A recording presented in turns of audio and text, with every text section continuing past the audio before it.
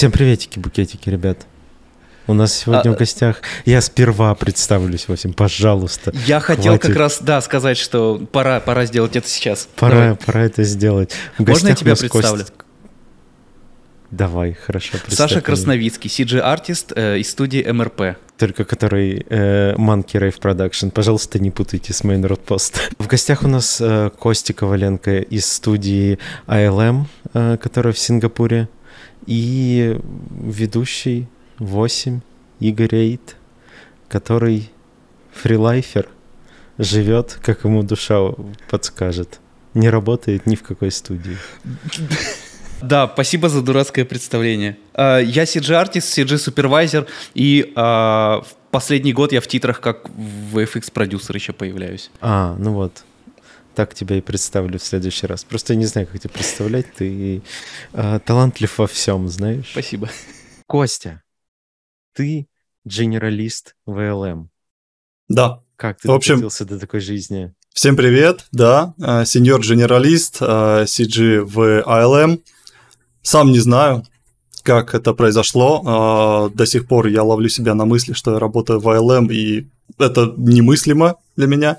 Потому что с самого детства э, это была, получается, наверное, или одна из самых популярных, или, наверное, самая популярная студия вот из 90-х, когда мы услышали про графику, про CG, это были разные э, фильмы. Кажется, в «Титанике» они тоже участвовали, ну, Star Wars, само собой. И услышали как одну из первых CG-компаний. У меня брат, он на 7 лет старше, естественно, он об этом больше узнал, начал мне прививать это все.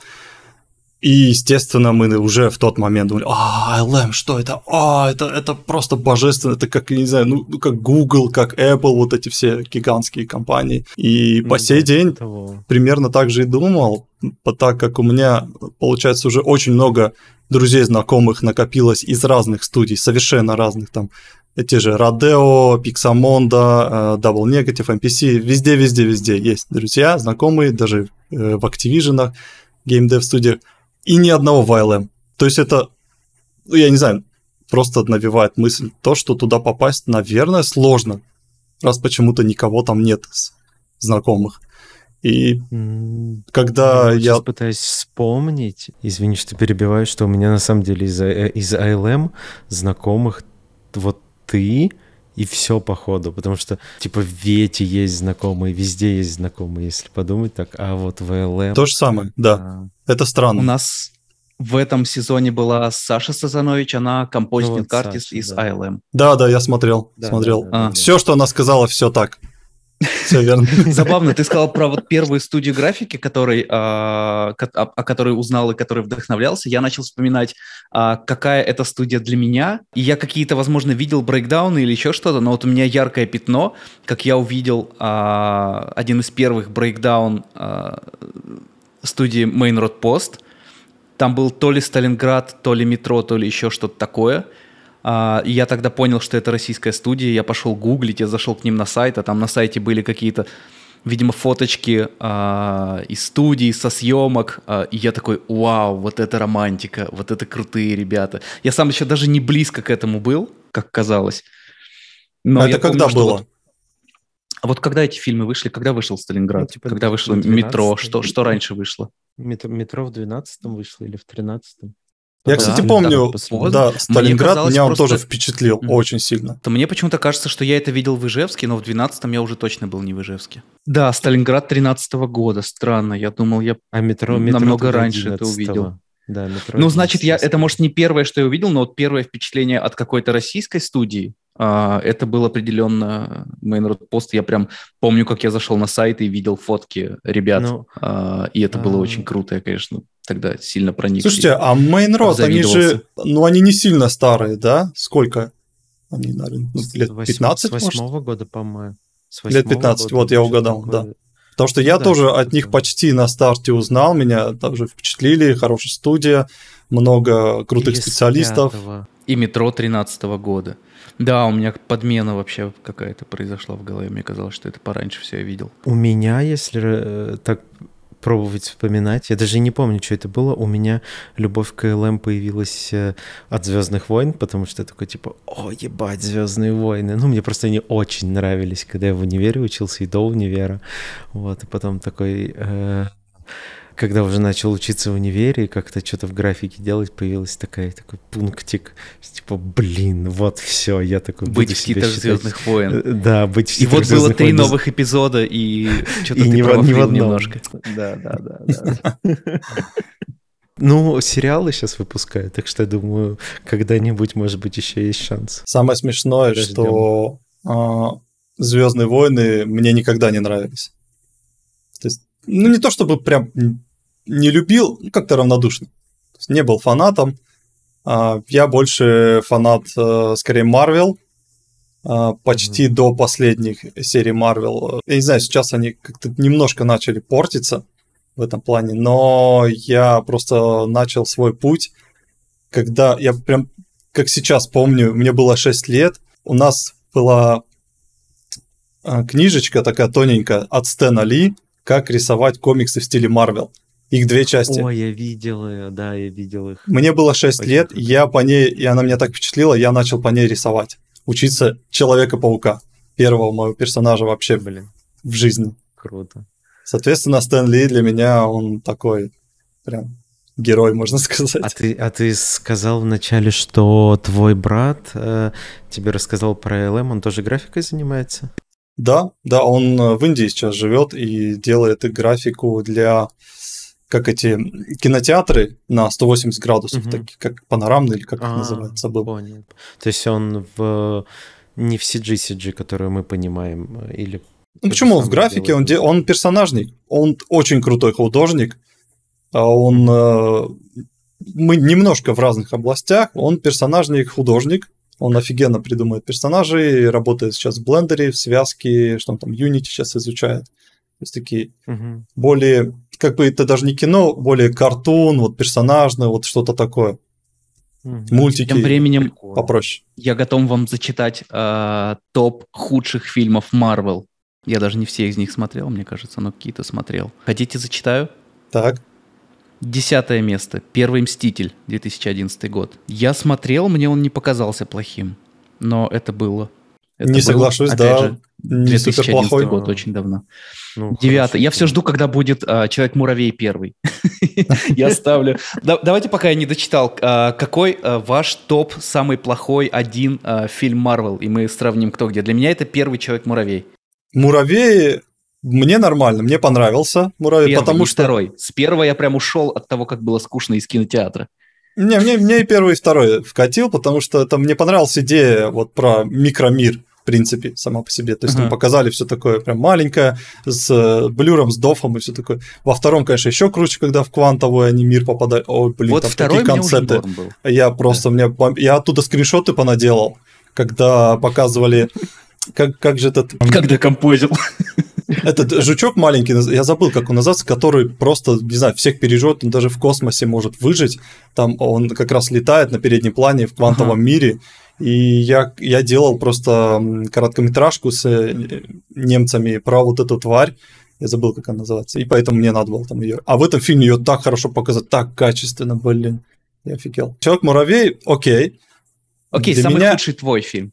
Марвел. А, Черная пантера. видел. Первая или новая? Любая. Я, я первую начал смотреть, я, я выключил в первые 15 минут. Ничего себе, мне она прям понравилась. Ну, не то, что... Я, у меня странное ощущение, потому что я не могу сказать, какой фильм из Марвел плохой, потому что я знаю, чего от них ожидать, и они все а, хорошие, ну, в том смысле, что это же не какое-то кино, которое ты ты чего-то от него ждешь сверхъестественного. Ты хочешь от него, чтобы оно тебя развлекало два часа. Ты любой фильм Марвел смотришь, он в чем-то тебя будет развлекать, показывать охуеть красивую да, картинку да. два часа. Это, и ты как такой, я называю, кайф. фильм-аттракцион. Ну да, да, да, вот абсолютно. И у меня нет такого, что типа там, ой, вот этот фильм говно, и я буду спорить, доказывать, что он говно. Может быть. Но все равно есть сказать... второй Тор, а есть Черная вдова, условно. Я не смотрел в Черную вдову. Может быть, Черная mm. вдова плохая. Ну ладно, какой худший из тех, что ты смотрел? Блин, да ну, наверное, какое-нибудь старье вообще, знаешь, вот эти Халки первые какие-нибудь. Халк, да. Так, все, все назвали своих фаворитов. Идем по рейтингу. Десятое место. Первый Мститель, 2011 год. Девятое место. Мстители Эра Альтрона, 15 год. Я даже не помню, что там. Восьмое место. Невероятный Халк, 2008 год. В смысле? Подожди-ка, а почему Эра Альтрона плохое кино? Слушай, что я... это за топ вообще? Я, я вообще не понял тоже этот, этого принципа. Я вообще я в, своей, в своем experience е убедился уже, что э, народ вот эта масса, которая оценивает какие-то фильмы, и ты смотришь рейтинги, они могут быть низкие, но тебе он может зайти. Я уже давно не верю в эти там рецензии, там что ты ну, читаешь, да. оценки. Так, слушайте, да, есть много списков, а, много рейтингов лучших и худших фильмов Marvel. Наверное, я просто открыл какой-то какой наугад, потому что я с ним тоже не согласен. Поэтому да, давай топ-3 топ скажи, и все. А, Шан-Чи, легенда Десяти колец. Я не смотрел. Не, не крутой, смотрел. крутой. Мне вка... очень ну, сильно ну, вкатил. Вот, очень да, сильно. я на работе слышал, что обсуждали, что очень хорошее кино, ну только типа Марвел, Марвел хороший. Капитан Марвел 2019 год. И... Не помню. Вечные 2021 год. Не смотрел. Вечные... Ну да, так, как-то так. Не сильно зашло. Я не смотрел ничего из топ-3, так что не могу Так что возможно. Да. Блин, я пытался найти фильм, который по меня убедил в жизни не читать рецензии. Как же он назывался? Что-то Джон... Блин, там, короче, про чувака, который попал в, в пустыне, что-то с, с какими-то большими монстрами, дрался там. Джуманджи? Не-не-не-не. Не, он, он очень похож на этого, на принца Персии чем-то он даже по одежке, по времени. Джон Картер? Да, да. Да. Джон Картер, да, я сейчас загуглю. Джон Картер. Да, он самый, он в рейтинге провалился. Я, когда его посмотрел, я офигел, как он мне понравился. С этого момента а я, перестал читать. Он же, он же старый достаточно. Да. Ну, я на тот момент ну, просто, я читал ну, рецензии, да, да, когда он я только вышел. Я давно смотрел. Не помню ничего толком, что там было. Ну ладно, и раз ты ну... фанат Звездных войн, какие для тебя лучшие Звездные войны? Я просто в прошлом выпуске как раз говорил, что для меня это «Изгой один». Для меня сейчас вот, вот прям самый, самый крутой фильм по вселенной «Звездные войны». А, ты не любил «Звездные войны», я понял, ты не любил. А, ты меня, ты меня спрашиваешь? Да, да, да. Да не, я, думал, я думал, ты Сашу спрашиваешь. Саша, ладно, какой у тебя? Мы, мы уже обсудили. Мы это уже обсудили. Что меня еще раз спрашиваю. Тогда хорошо, если ты захочешь вдруг э, дать Звездным войнам шанс, вот я советую изгой один. Это спин -офф. Это какая предыдущая, на сколько частей назад? Это, это спин-офф. Это спин между... А, да. Их сейчас сколько? Их там штук 9 же? Один. Не, не, я имею в виду всех не, вообще Звездных войнов, получается, частей. Трило... Трилогий? Трилогии три, но еще вот в последней трилогии есть три спин или два. Два вроде Про Соло, да, еще? Хан Соло, да, Изгой один и что-то еще было вроде. Ну, я это не, не помню. Вот, ну, в общем, всего выходит 11 или 12 фильмов больших. Знаешь, если даже ты путаешься, вот сколько там их всего, для меня это, это капец. Ну, нет, официально а, три, три трилогии, то есть 9 фильмов. Я давно перестал быть фанатом, а, ну, чтобы вот так говорить, что без этим следил, потому что вот там, например, на работе ребята, ну, там, в московской студии, которые остались, там Арман, Миша, они все смотрели из Звездных войн, вот эти все Андоры, все Мандалорцы, что там еще было, я забыл. Вот они все это смотрели, и они прям шарят в этом. А я как-то для меня вот там, не знаю, э, новая трилогия уже достаточно не очень крута, но в плане именно вот каноничных Звездных войн. Вот. Но последние фильмы прикольные, просто как фильм. Но такого, чтобы там помнить, что когда выходило, я как-то... Я даже режиссеров не знаю, кто там... Там Джей Джей Абрамс что-то снимал. Не, ну это да, это прям надо быть таким фанатом, чтобы еще и режиссеров знать. Ну да. Я «Мандалорца» смотрел. Джордж Лукас. Мне понравился. Что там? А, это не Мандал... это Боба Фета вот этот самый э, этот э, Оби-Ван, в котором а, я вот, Боб... месяц успел Боба поработать. Боба Фетту я посмотрел, ну, мне брат э, посоветовал, сказал, прикольный, потому что Мандалорец мне зашел, ну и Боба Фетта зашел. Так, ну окей, прикольно. Uh-huh. Оби-Ван посмотрел, в принципе, тоже прикольно, но я посмотрел ради того, чтобы свои шоты там увидеть. И что еще, что там еще были? Андора, вот Андора мне вот сейчас советует один э, знакомый, может быть, гляну, да. Ну вот, да, то есть такое. Я из сериалов я ничего целиком не посмотрел, к сожалению. Но, может быть, когда-нибудь посмотрю. Не, Мандалорец Сейчас классный. Мы... Первый или второй? Типа... Оба, оба. Они прям классные. Я прям второй начал смотреть, мне стало даже хуже, чем неинтересно, и я выключил. Не знаю, как это работает, но мне показалось это затянуто э, и сюжетно неинтересно. Картинка красивая, сюжетно вообще показалось неинтересно. Я, я просто в основном э, на картинку смотрю зачастую. Картинка кайф. Вот. Поэтому я, вообще... Мне вообще... с непонятного сайта. А, ну так, так нельзя. Нет. Это надо, что там, в Blu-ray вообще качать все фильмы, все сериалы. Я частенько так делаю. Ну, да. Но в этом есть и минус, когда я качаю Blu-ray какой-то фильм, я столько косяков вижу сразу на графике. Очень много. Очень, реально, я в шоке вообще. В кинотеатре столько не видишь. То, что монитор, он же все равно по пиксельно он более четко показывает, чем кинотеатр, и контраста да. больше. Кинотеатр это прожектор, он э, пока он светит, он теряет много света в этом. Какие самые грубые косяки ты замечал на, на Blu-ray в каком фильме? Я просто буквально сегодня со своим э, тутором по английскому, э, мы с ним что-то обсуждали как раз косяки в фильмах, что-то я вспоминал с ним. Блин, только что в начале диалога я помнил, что я хотел сказать. А, мы с ним обсуждали спилы э, в, в первом эпизоде Звездных войн, вот который нулевых годов. Там прям такой себе как будто бы у меня в воспоминаниях, я его пересмотрел несколько лет назад, а у меня в воспоминаниях там зеленые спилы есть, и, ну, там в целом он не славится хорошей графикой. Понятное дело. Оно и логично. В каком году-то это было? Ты ну, между пер, первые три. Первые три, нет, да, нет, нулевые, они позже, нулевые, позже не, которые не были. Четвертый, пятый, шестой, восьмидесятый, да, да, а да. вот нулевые года. То есть вторая трилогия. Ну что ж, ну, как бы, уж можно как-то на вскидку это взять. А, я помню, очень часто попадаются какие-то мелкие недочеты, например, с масками. То есть маски где-то они перекрываются, теряются. Понятно, что где-то зеленка читается, но так как предыдущие пять лет я работал как VFX артист, и в основном у меня были задачи вода, сплэши, океан, ночь, э, субмарины, корабли, э, я очень много пересматривал сцен и референсов с водой, и, соответственно, фильмов. У меня один из э, такой показательный идеальный фильм был от Диснея, это Finest Hours, не помню, как он mm-hmm. на, на русском. А, и даже, я даже сюда сюжет не знаю, там главный герой из Стартрека, вот этот главный чувак из Стартрека, тоже не знаю его имени, он там главным играл. И... Добрались киноманы. В общем, там очень много сцен, водных сцен, дофига, просто почти весь фильм все ночные, везде сплэши, все очень качественно сделано, но когда я скачал, ну, Blu-ray в 4К формате, конечно, я вижу, что вот эта симуляция, где-то она там где-то фликает, где-то партиклы, они прям видно, что это точки, они прям жирные где-то местами, где-то шейдера на них не те, то есть я уже вижу все эти нюансы. И, соответственно, пять лет проработав с водой, я и до сих пор все эти косяки вижу, когда вижу воду в любом из фильмов. Мне она не нравится нигде вообще. Это, это ну, одно из самых сложных.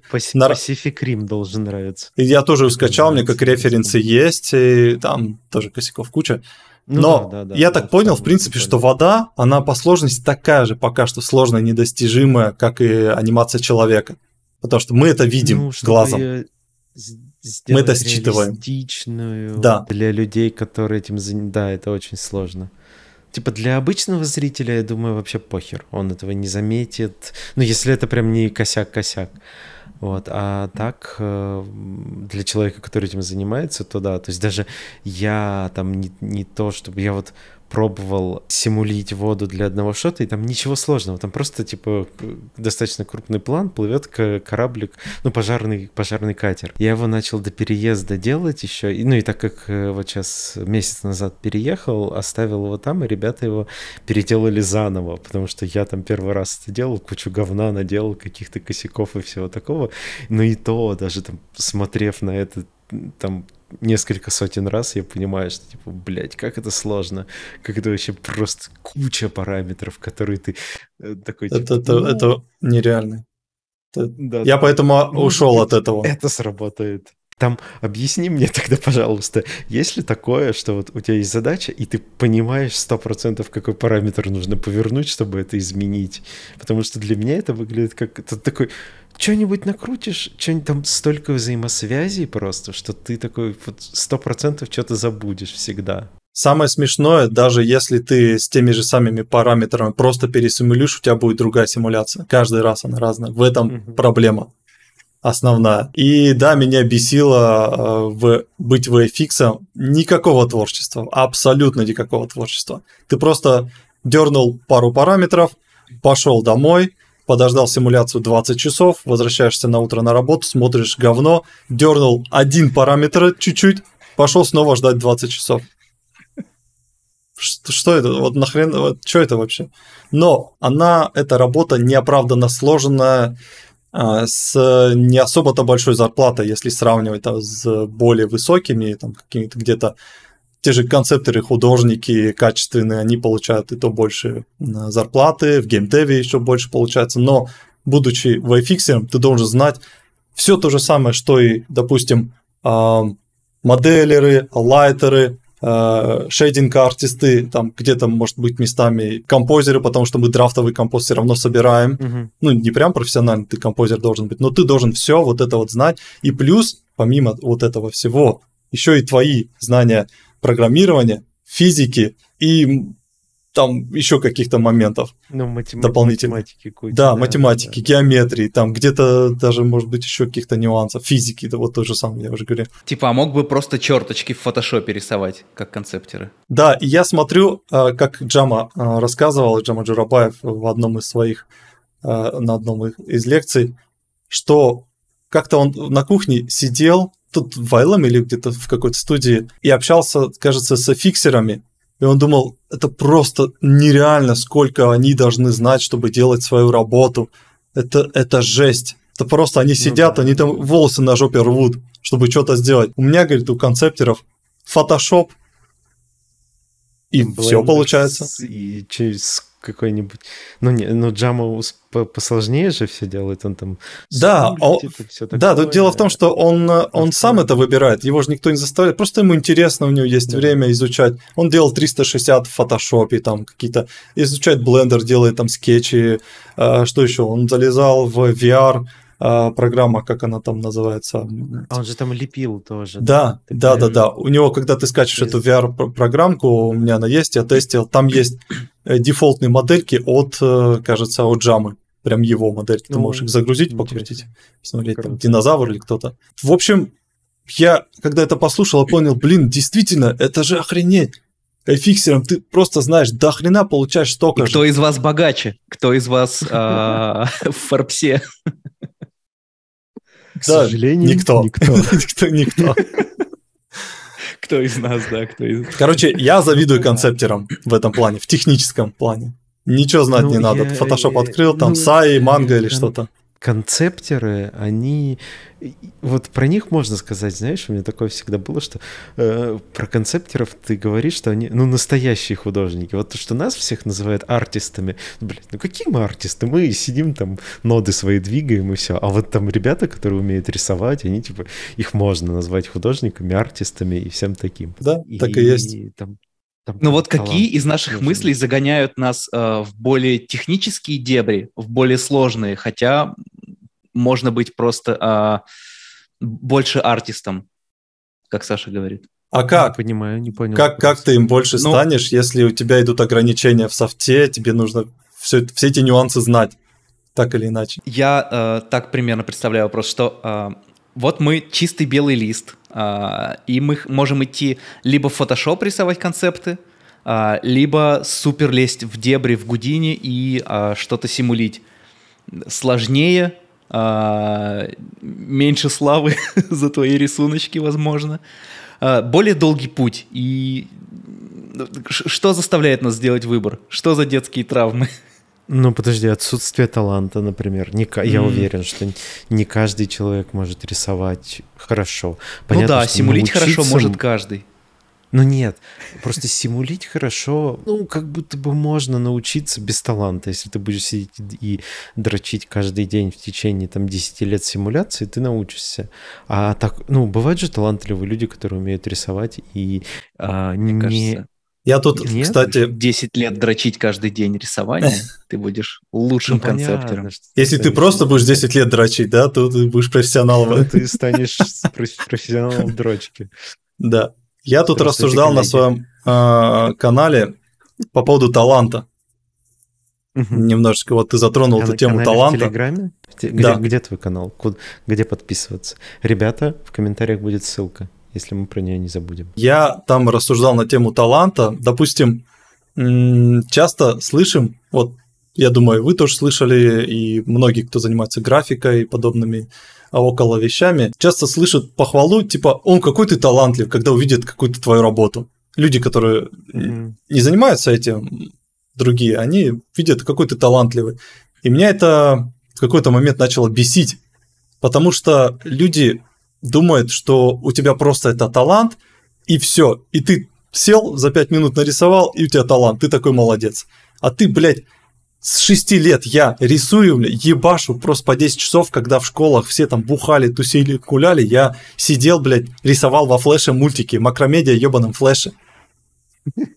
Ой, я ни с кем вообще не общался, не дружил. Вот, да, там ActionScript какие-то игры, что 3D Max by 5 открыл, блядь, первый, в нем сидел, херачил, все там лето, все там на дачу едут, уже бухают, водку пьют. Я вообще я не пил, наверное, до...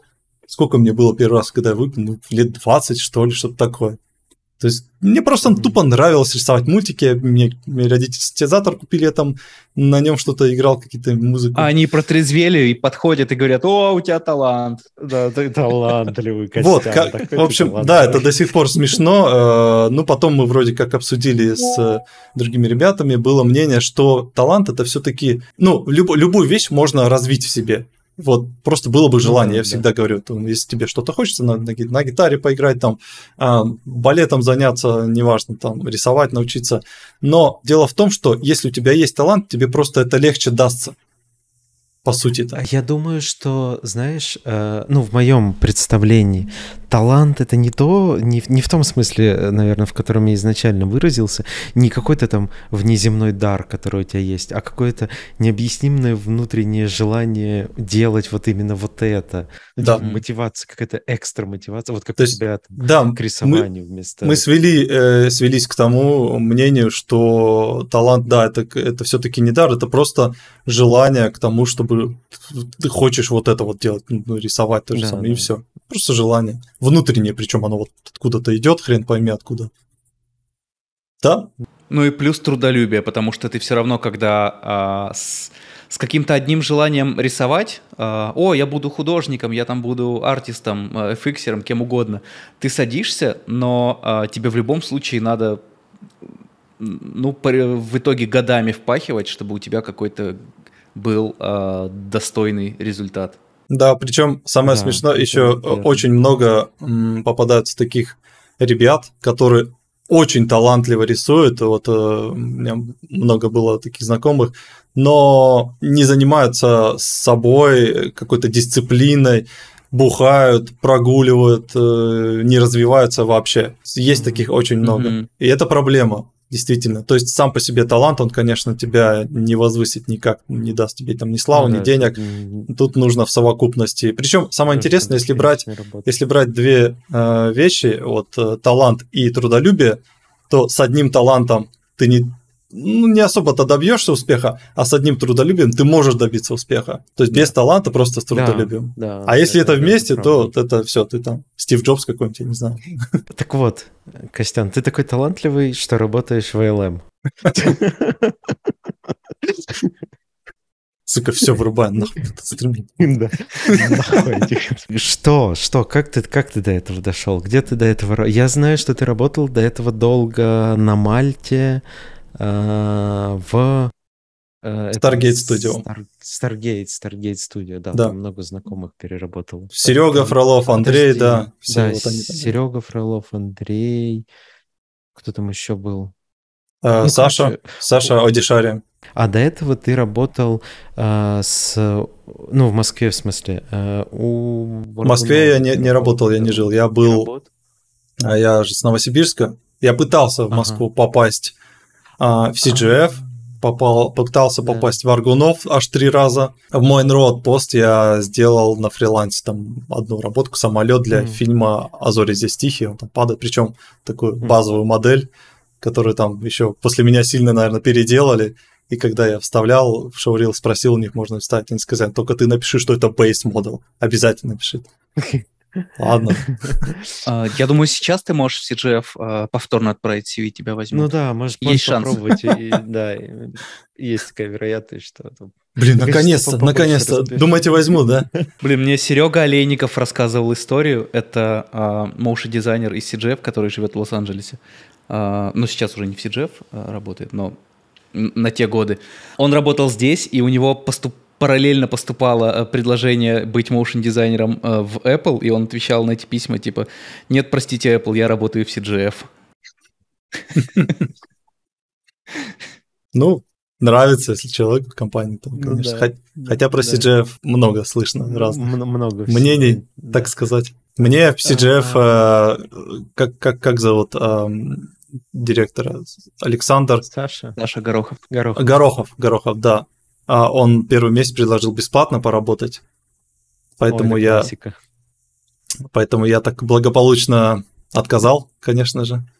А Варгунов я вообще три раза пытался. Молодец. Блин, мне почему-то казалось, что ты работал с Виталиком Андрулисом в, в этом в Аргунове. А мы с ним... Виталика Да, конечно, мы с ним хорошо общались. Э, мы с ним даже виделись на CG-эвенте каком-то не помню, году, там, в одиннадцатом, двенадцатом. Да, и мне вот почему-то такое переклинило, что ты с ним э, и с Никитой Шилкиным там работал какое-то время, но, наверное, перепутал. Он пытался мне помочь один из разов в Аргунов даже попасть, но угу. не получилось. Я приходил к ним на собеседование с Никитой, разговаривал, и вроде как даже все как будто бы понравилось, ну, как будто зарплату обсуждали, а что-то раз потом пропали. А это какой был год и какие у тебя скиллы были на тот момент? Прости, а, Сейчас скажу. Я думаю, это было до Мальты. 2015 плюс-минус.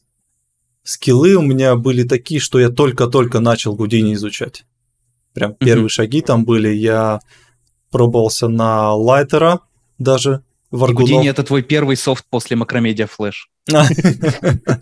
Нет, там было много. Первый софт 3D-шный, ну, 3D Max, мы все с него начали, но я с ним недолго простил, там месяц буквально. Я, мы когда узнали про Softimage, или Softimage, правильно Ой. говорить.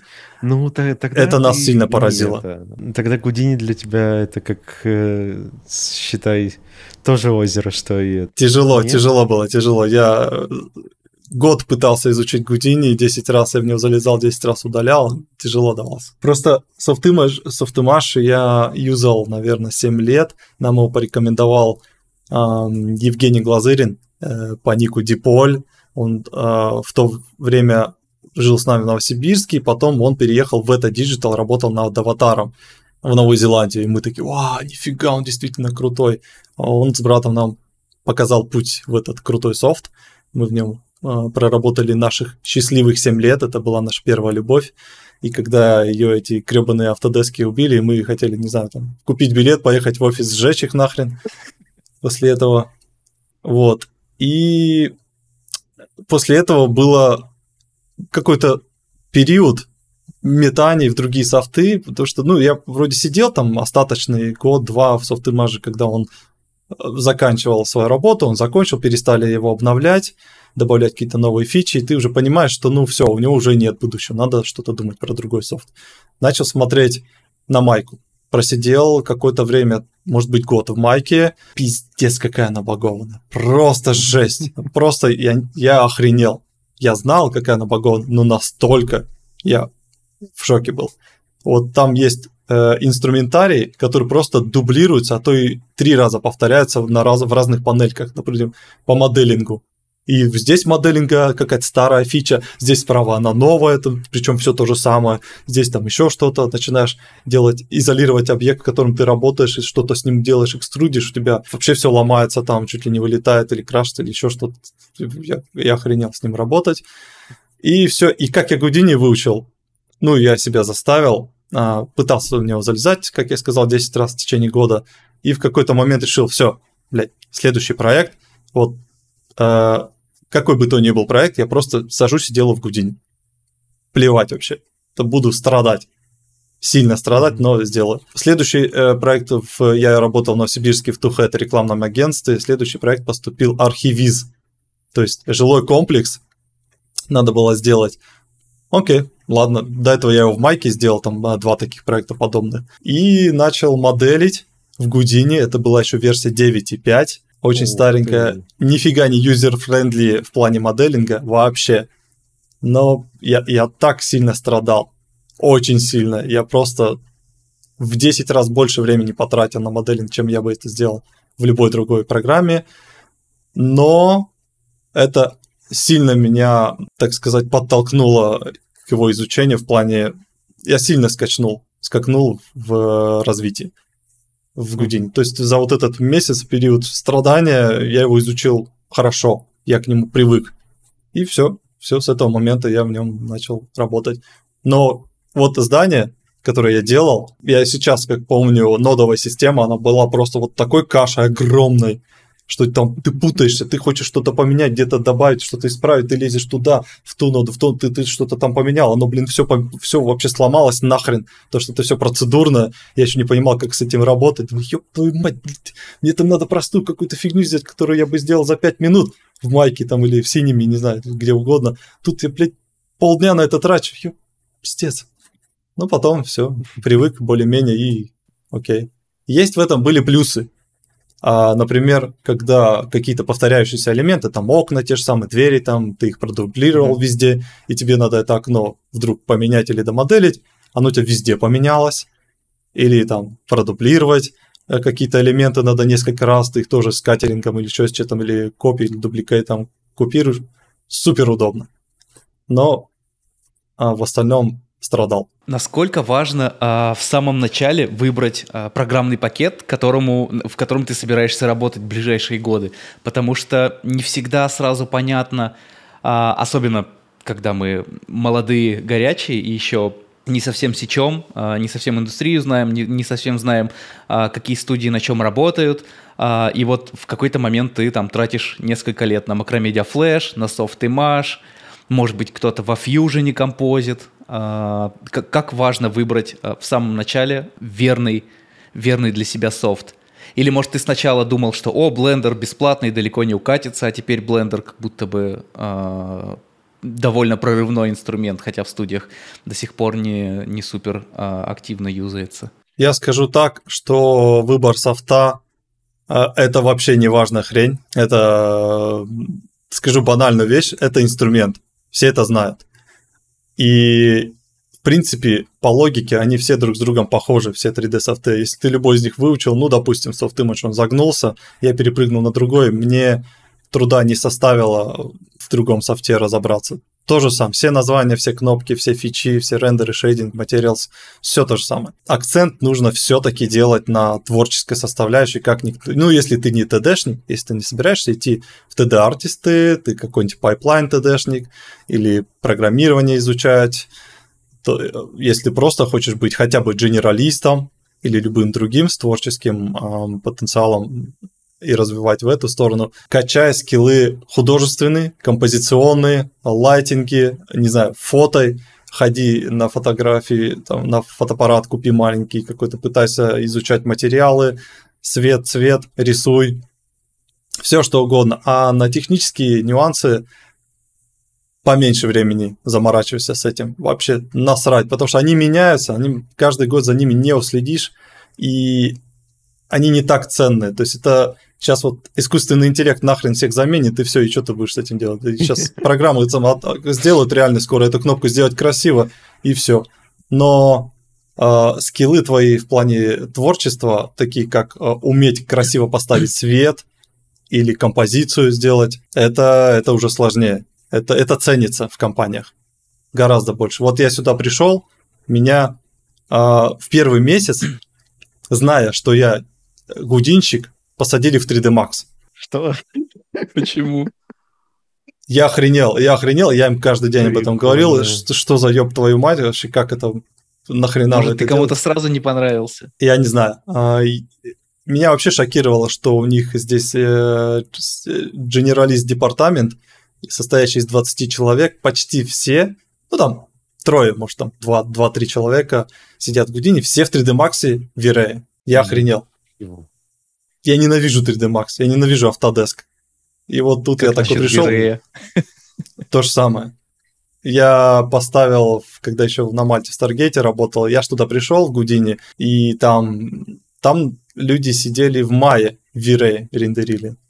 Меня это тоже немножко напрягло, но окей. И когда мне супервайзер сказал, давай-ка ты, вот сейчас тут, тут смотри, релиз Вирея был для Гудини, давай мы его поставим, потестим. Я говорю, ты, ты что, охуел что ну, ну, это жесть. Мантра есть, ты чё, ты чё, успокойся. А, ну, мантра, кстати, она очень тормознута. Я потом э, убедил их э, приобрести Арнольд, то что mm-hmm. я все-таки фанат связки Гунини Арнольд, это идеально и по скорости, и по качеству, и по простоте настройки супер вообще. А, а катана, я очень сильный фанат. Ой, блять, катана, ну, карма. Карма. Почему ты карму тестил уже? У нас да. просто сейчас я я она новая, особо... да. То есть... Да, в, в Гудине что-то делаю, ну так, какие-то там лайауты собираю, что-нибудь, мелочи в целом сейчас я умею делать в Гудине, вот, и поэтому я рендерю какие-то там привизики в мантре или вообще плейбласты, и все, мне этого хватает пока что.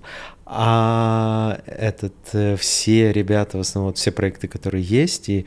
Понял, а, да, что не фанат Star Wars? Да, вообще не фанат Star Wars, только показал футболочку. А, все переходят на карму, прям так, типа, по очень-очень серьезно. А, ты ее тестил, как она тебе? Не то, не то чтобы все, просто дело в том, что это... Не, я, я говорю про МРП именно. Я сейчас про МРП сказал. Что, типа, у нас вот э, все проекты, которые запускаются, они стремятся запускаться. Зависит от команд, конечно, но стремятся на, ман... на карме. Надо понимать просто, что сейчас идет э, такая общая тенденция смены всех пайплайнов, всех студий на USD формат.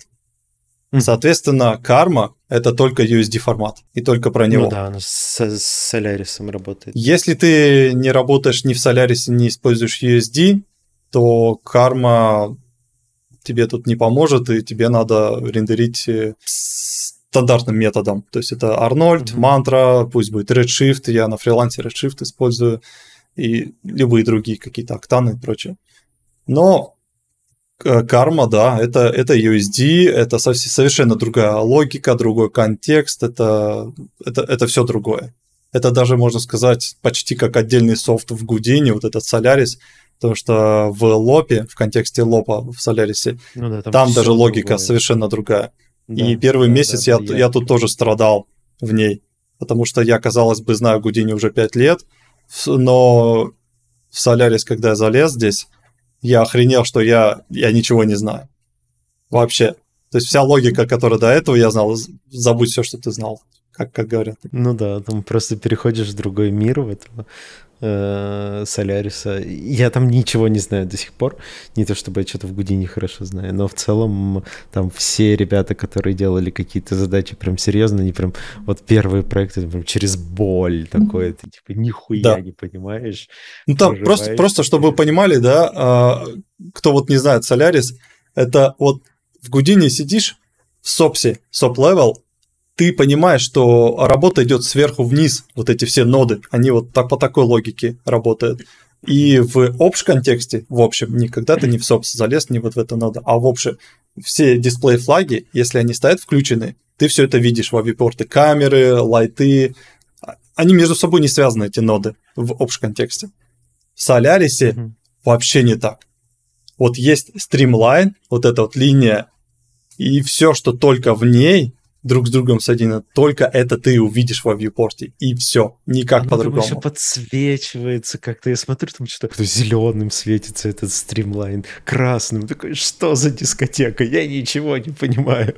Самое неудобное в этом – это работа с камерами. Это, это, блин, это надо привыкать.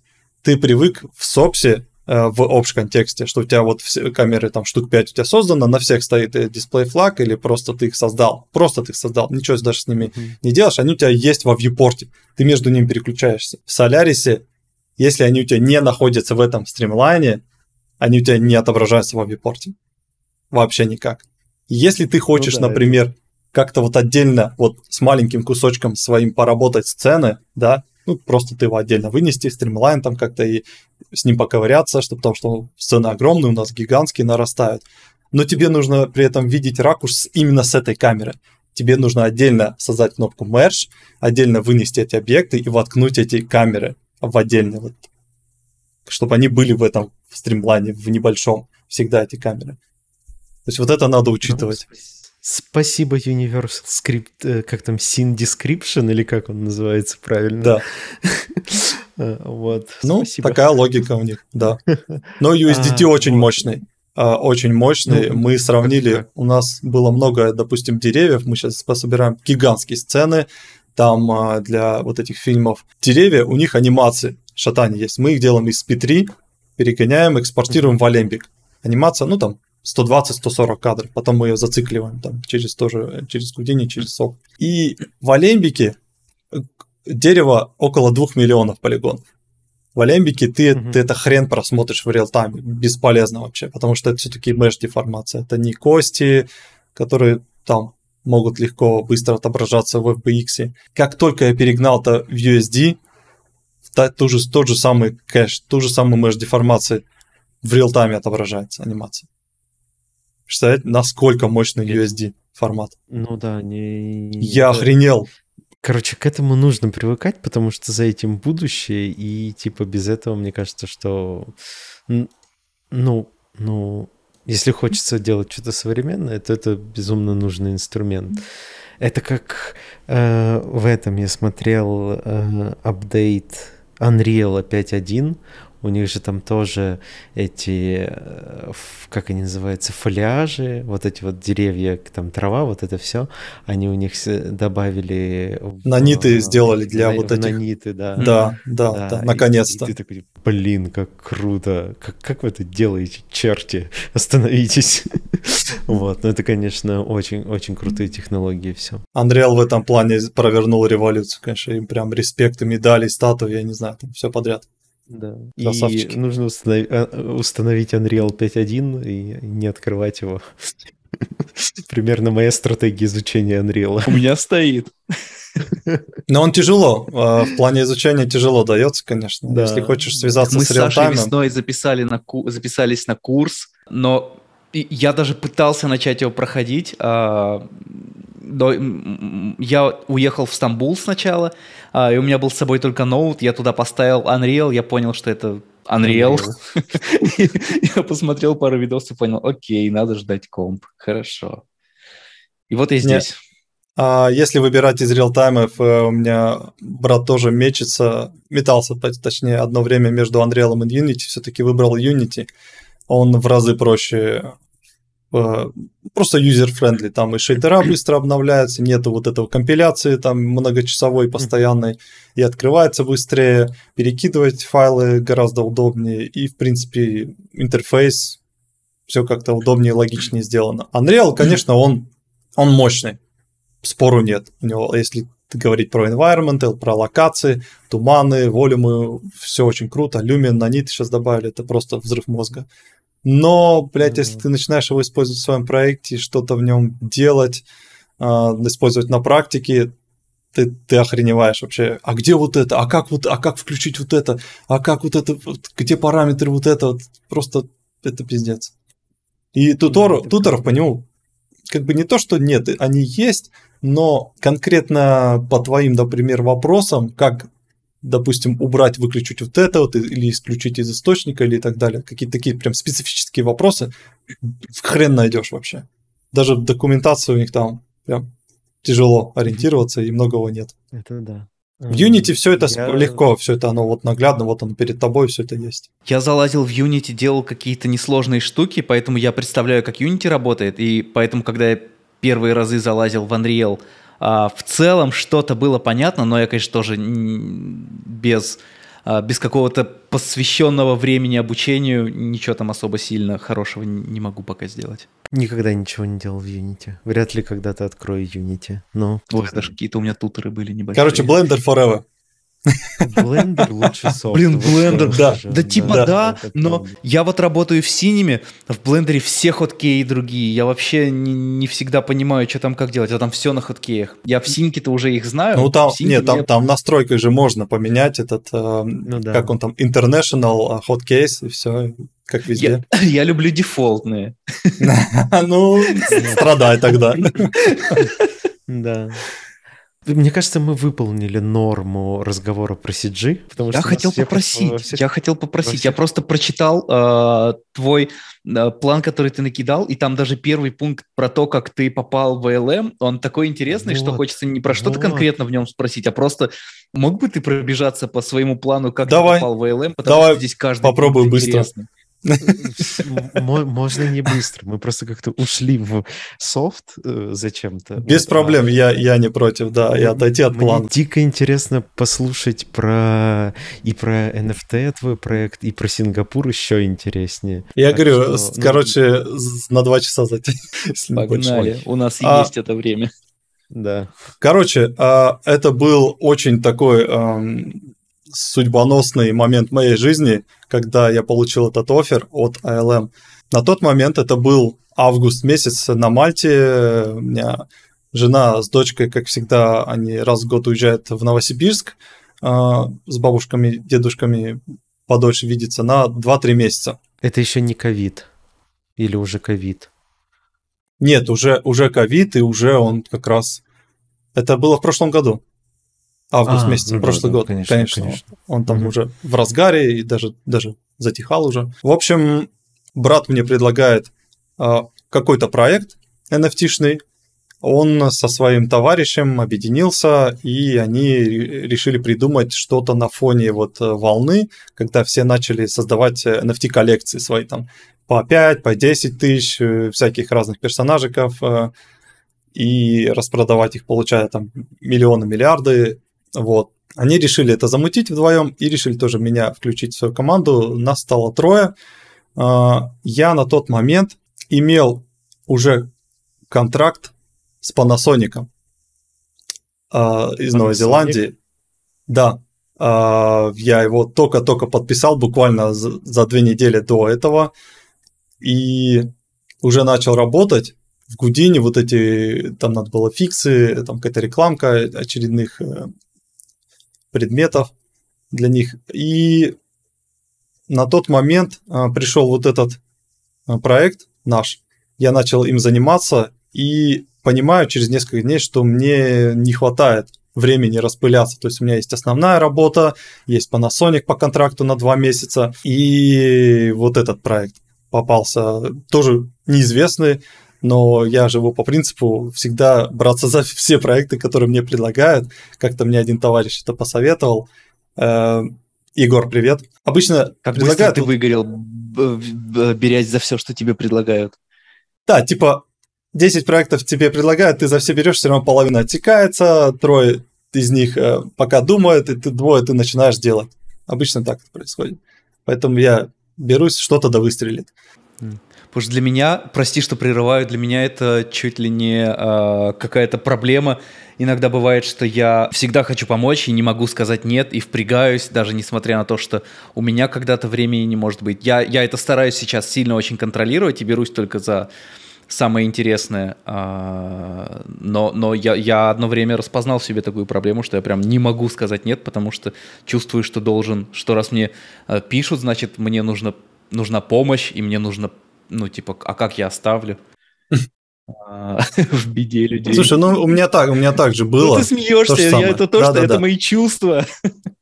Ну, действительно так, да. Это, это сложно отказать, такое ощущение, что вот всем нужна твоя помощь, и если не ты, то кто? Обычно так думаешь. Надо, надо помочь. Да, да, да, да, это я понимаю. Что, нет? У тебя никогда такого не было? Да я не особо фрилансил когда-либо, так что я не могу такого чувствовать. Ну, в целом. Ну, так... Да, да нет, не могу сказать, что... Нет, точно нет. Я тебе в чем-то завидую. Я просто не стремлюсь заработать все деньги. Вот так. Так это не про деньги, это про... Да, я понимаю. Про то, что ты ты осознаешь, что должен помочь. Пусть это даже на самом деле, да, неправильно. Да, да, да. Это не про деньги, а про, не знаю, синдром спасателя. Да, прости, прервал твою историю. Ты остановился на том, что у тебя был друг Егор, который посоветовал тебе браться за все проекты.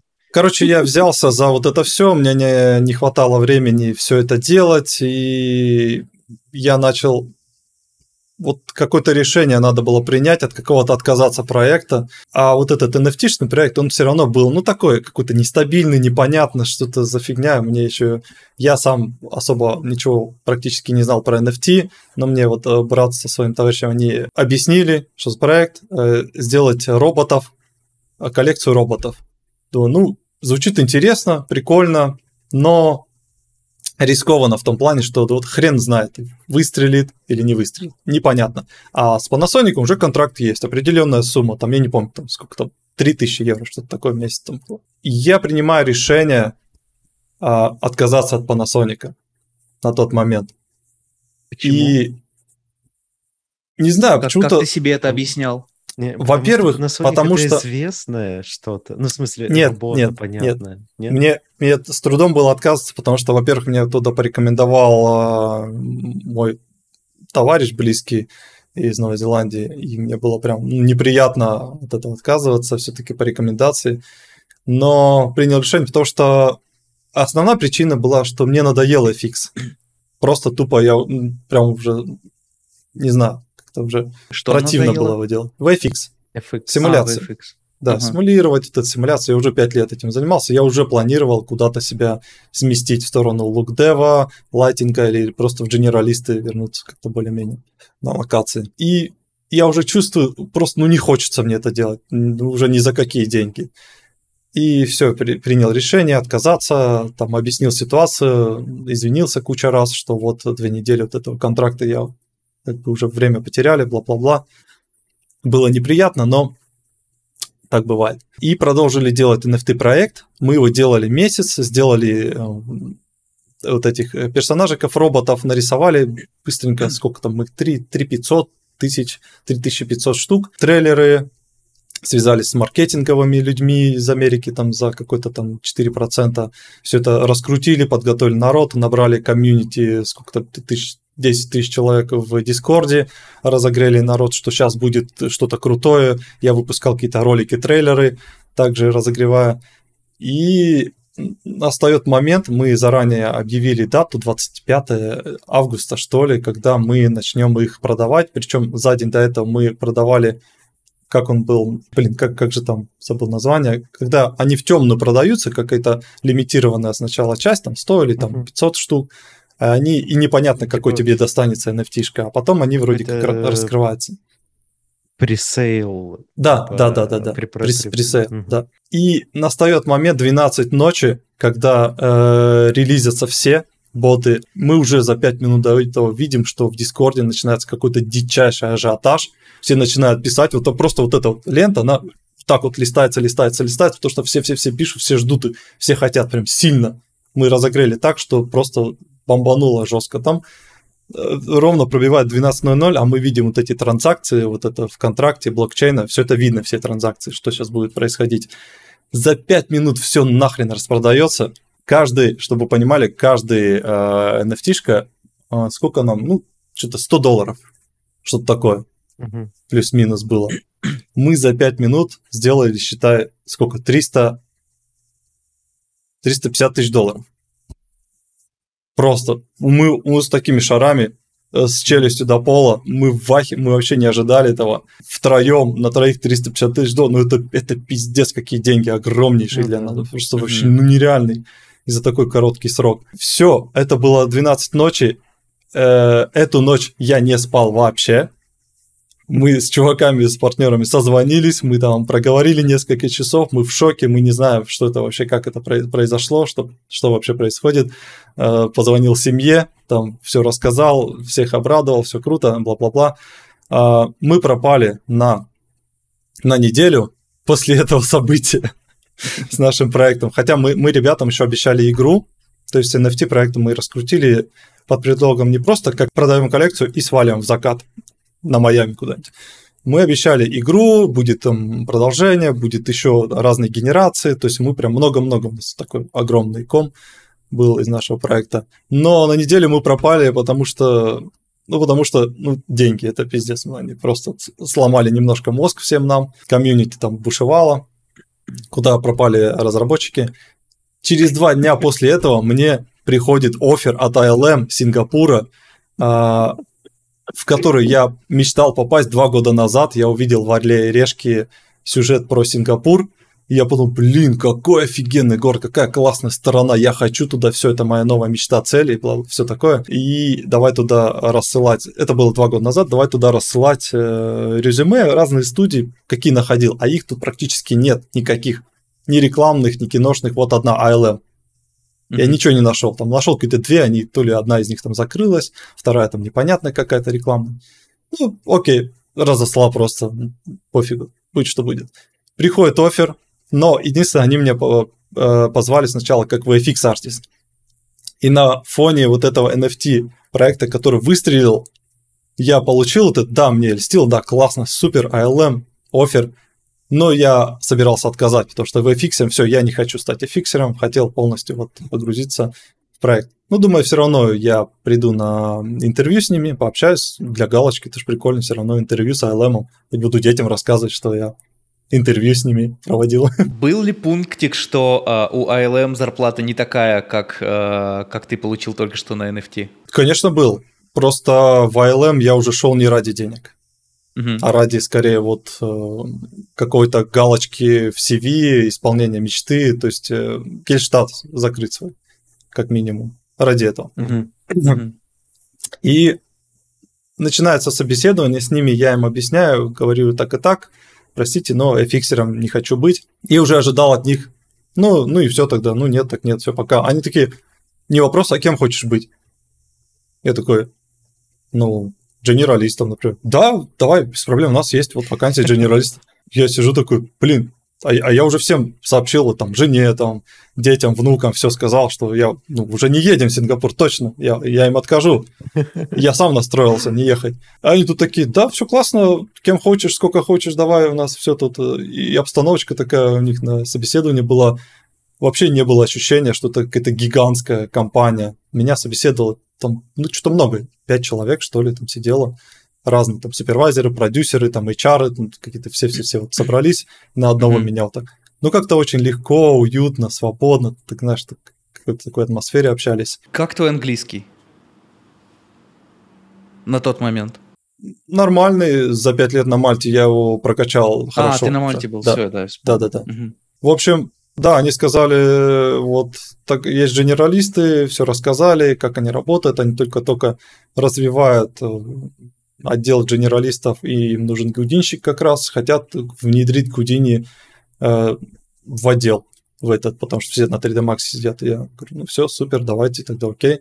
Дальнейшие собеседования длились э, с другими менеджерами, обсуждали зарплаты, условия, и когда вот после этого первого собеседования я уже не поверил своим ушам, что меня позвали туда. Я думал, где-то подвох какой-то, сука, ну по-любому что-то вот, ну не может быть так идеально все быть. А ЛМ там, и генералистом, и такие, как бы все, как я хочу. Я давай искать. Вот э, на следующий день э, договорились собеседование с HR, обсуждали условия, зарплаты, э, время работы. Я записал список вопросов, я давай доканывать а, а какие переработки? А сколько дней в неделю? А сколько отпуска? А все вот это вот давай спрашивать. По-любому, что сейчас там скажут, там все соки будут выжимать из меня. Ну, слышно же часто, что в таких конторах выжимают, выжимаешь соки. Вот в Weta Digital, например, там сильно прям выжимают. Там много слышно про это. И на все вопросы Да, типа нет, э, овертайм у нас есть, но мы всегда спрашиваем наших сотрудников, и если отказываетесь, то мы понимаем, что есть семьи у вас, а, зарплату хорошую сделали, какую я сказал, ну там чуть-чуть снизили, довольно высокая в итоге. Что еще? Переработок, выходные у них там ну, нету, они, если бывает, то очень супер редко. Что еще? Ну, из минуса такой небольшой минус, что получается это в целом азиатская штука, 10 дней отпускных всего лишь. В год? Но, да, 10 дней. Ну, это О, не сильно парит. У них есть помимо этого 14 дней или 10. Это идут 5 дней child leave и 5 дней family leave. То есть они mm-hmm. их тоже могут заюзать в этот момент, когда вот я поехал первый раз в Новосибирск на месяц, э, спустя полгода. Объяснил им, они сказали, ну давай все заюзаем, вот все, что у тебя есть, да и все, не парься. Угу. Говорю, давай, классно. Я думал, там у меня две недели за свой счет будет, а у меня там четыре дня за свой счет оплатил. Такой, угу. И классно. Что еще? А, куча страховок, все покрывается. для меня, для семьи. Куча каких-то бонусов, бенефитов, бесплатный вход во все парки Диснея, то есть они, они предоставляют. Оплачивают перелет, оплачивали месяц отеля, проживания первый в Сингапуре. По прилету дали в сумму там что-то в, в 10 тысяч долларов просто, чтобы ты, типа, просто тут освоился. То есть такая, типа, бонусная. Вот, дофига бенефит. Я сижу, думаю, где, где минусы? Как-то, что... Как где это меня хотят наебать? По-любому, по-любому. Я не верил, до сих пор не... Я потом еще неделю не спал, не верил, ни в NFT проект не верил, ни в ILM не верил. Я вообще не понимал, что по-любому сейчас, блядь, я не знаю, метеорит упадет на мое здание после таких событий. У меня прям четкое ощущение, что было сейчас какая-то херня будет. Все, все идеально. А, я сижу, думаю, ну заебись. У меня еще а, контракт на Мальте, он а, заканчивается в феврале, тут был, тогда был август, в феврале, и там нету пункта, что я могу его разорвать посреди вот как-то. Там штраф mm-hmm.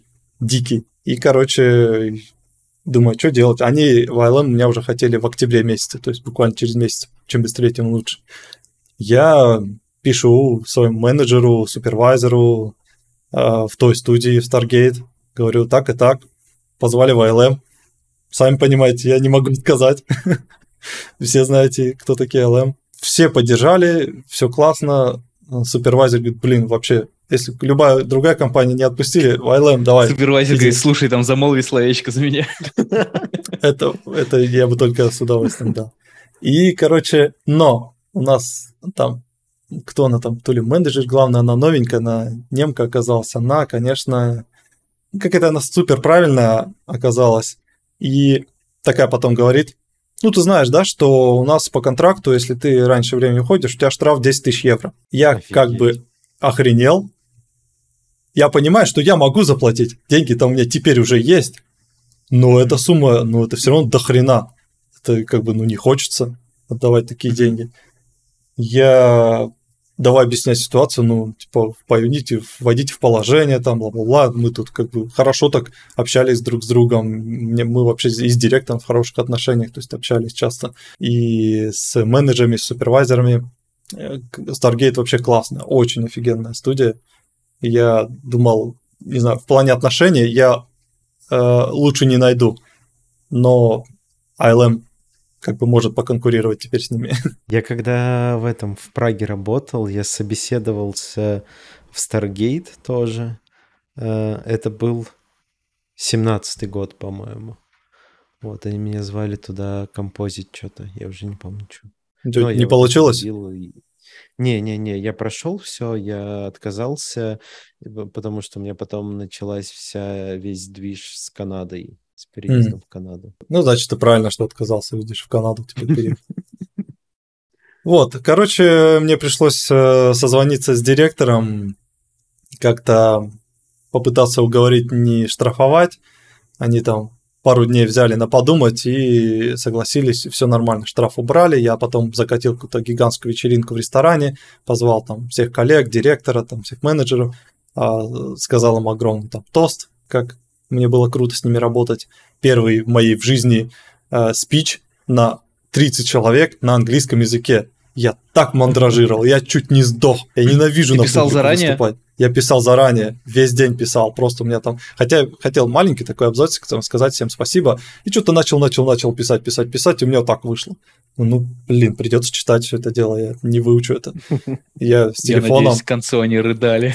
Ну да, там супервайзер, он реально так немножко прослезился, когда там уже там обнялись, все попрощались и пару шуток даже вставил, и я почувствовал какие-то себя даже стендапером, когда ты говоришь, зачитываешь шутку перед всеми, и они смеются, ты чувствуешь эту реакцию от э, зрителей, ты такой, блин, прикольно, вот что чувствуют стендаперы, когда отдачу такую получают.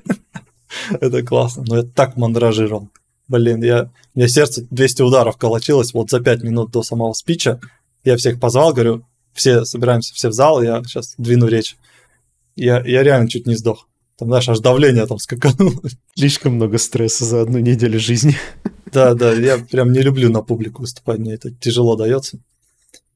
В общем, что, бессонные ночи, ближайшую неделю, а, говорю своей жене с дочкой приезжать, собирать все это дело, запаковывать и ехать обратно. Мы еще... Они же в этот момент в Новосибирске были и решили взять билеты, приехать. Там тремя самолетами, это тяжело, но хотя бы тут побыть последние несколько недель на Мальте, со всеми попрощаться, у нас там уже куча друзей было, запаковать все это, все распродали, я вещи не люблю перевозить, эти столы, там даже компы, там все-все-все. Все распродали. Все Ни слова больше. Я, я презираю каждый следующий переезд в три раза больше, чем предыдущий. Я каждый раз молюсь, чтобы этот переезд был последний. Я пере, переезды не не люблю. То есть э, ага. это, это, это приятный стресс. Смена локации. Сбор вещей. А, вот сбор, разбор, сбор вещей, да. да. Но в целом мне нравится просто а, обновление своей э, рабочей атмосферы, обновление локации. Это всегда прикольно. То есть ты как бы... Это да. Застоялось у тебя вот это все, и там, знаешь, там чуть ли не вот до банального, у тебя там уже э, пыль везде. Это тебе надо даже убирать, все отодвигать, все чистить, вымывать каждый раз. У тебя там за три года или за пять лет все вот это вот мусора накопилось, и ты, когда переезжаешь, ты все это обновляешь, это свежо, это классно. Да, это мне нравится. Мне, мне больше не нравится вот сам э, процесс сбора всего. Тем более я люблю все складывать аккуратно, если я э, что-то разбираю, собираю, надо все как смотать аккуратно, уложить. На это тратится больше времени, чем просто можно было бы по-распиздяйски все э, сгрести в одну кучу. Я трачу время на все, чтобы аккуратно сложить, упаковать. Э, все это как-то доставить на новое место, распаковать и заново собрать. Да. Но я аккуратно так не складываю, я все вот так кинул и все, и пошел. А. В этом плане полегче. Короче, дальше начались другие нюансы. То есть э, мы поехали в Новосибирск, а, думали, что через месяц вот нам уже сделают визу, и мы поедем в Сингапур. Не тут-то было. Визу нам делали 4 месяца по итогу, потому что вот мне и жене сделали быстро за месяц, а дочке из-за ее детских вакцин я не знаю, что они там проверяли, вот эти вот, э, кто там, корь, краснуха, вот эти все детские самые. Mm-hmm. Я их, э, во-первых, мне пришлось поездить по врачам, э, собрать печати, чтобы подтвердить все эти вакцины, что они у нас есть. Это там заняло сколько-то времени. И отправить их, и в Сингапуре их проверяли реально почти, ну, три месяца. Хотя у них на сайте было сказано 4 недели красным было написано, из-за пандемии, из-за вот общей ситуации по миру, это будет долго, до 4 недель. Мы три месяца ждали это. Я не знаю, что они там делали эти три месяца. Мы уже, уже ALM менеджеры им писали, звонили. Я им писал, звонил, там чуть ли не каждую неделю долбили их. Мы уже м- боялись, что мы не уедем туда. И ILM в том числе, они мне потом уже сказали, что мы думали, все, ты, ты там застрял в России, и плюс ситуация начала нагнетаться в феврале месяце. Угу. Сами знаете, какая. Мы уехали, а прям, кажется, то ли, то ли в тот же день, то ли через день, когда это все началось. Прям вот эти вот я помню события. Еще, я помню по, по, по твоему инстаграму я смотрел, что типа, ну вы, вы ну, вот э, улетали как раз, все это самолеты, ты постил, постил это все, и я такой смотрю, блин, как это такое совпадение, что вот началась э, война, и такой ребята улетели, такой, блин, клево, что все все успели доделать и все хорошо прошло. Но мы сильно боялись, что вот сейчас закроют аэропорта, перелеты, самолеты, ну, да, и все, и мы не боялись. улетим. И я просто, а в тот момент я еще думал один полететь, потому что у меня-то виза есть, считай, просто у дочки нету. И думали сделать как, я полечу один первое время, потом уже мои прилетят. Там какие-то вроде другие еще проблемы возникали, потому что там в Сингапур он очень, это же Азия, они с пандемией вообще помешаны, как и весь Китай. И они не пускают, то есть у тебя нету э, европейской вакцины, типа Pfizer, там, какие у них там еще есть, Модерна, Джонсон Джонсон. Джонсон. Да, спутник нахер никому не нужен. Даже им. И все, а у жены нету. У меня есть Pfizer, у жены никакой вакцины нет. Чем мы? Пришлось что-то думать, мы давай гуглить, где можно поставить Pfizer. Я пытался там в Дубае, там еще где-то Армения, не знаю, какие-то ближайшие страны. Короче, это все тоже как-то геморройно было. Мы сделали э, медотвод опять-таки мы его отправили и боялись, что его еще не примут, потому что тоже, ну, хрен пойми, как это там написано. Я вроде, я перевел его апостилям, подтвердил. Mm-hmm. Через неделю приняли, все окей, не вопрос. Все прилетели, нам оплатили перелет, э, отель первый месяц, неделю мы были в отеле в карантине от ILM. Там возникла другая проблема с банковскими карточками российскими. А, их же заблокировали да. вот сразу же. О, слушай, да. пока про вакцины э, говорим, я хотел быстренько э, вспомнить историю, что когда я сейчас э, этой весной летел в Лос-Анджелес, э, и я постоянно мониторил, какие сейчас вакцины актуальны, потому что э, могли пускать не со всеми, и там были слухи, что могут с Джонсоном не пускать в Штаты.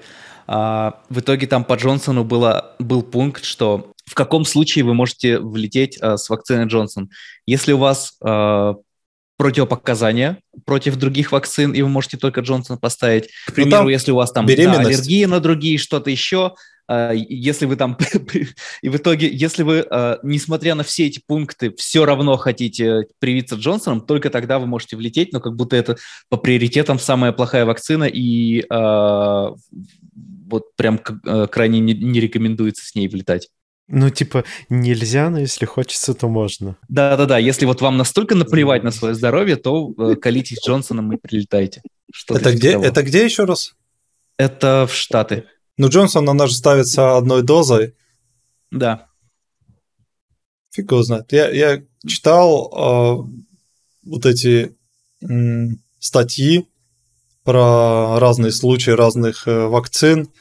Но у Джонсона и Модерна, да, какие-то случаи возникали, изредка у Pfizer вроде как по статистике меньше всего разных побочек возникало, осложнений у редких э, людей. У Модерна, у Джонсона, да, там, там побольше было. У меня так вышло, что три разные у меня. Спутник, Джонсон и, а, и что-то еще.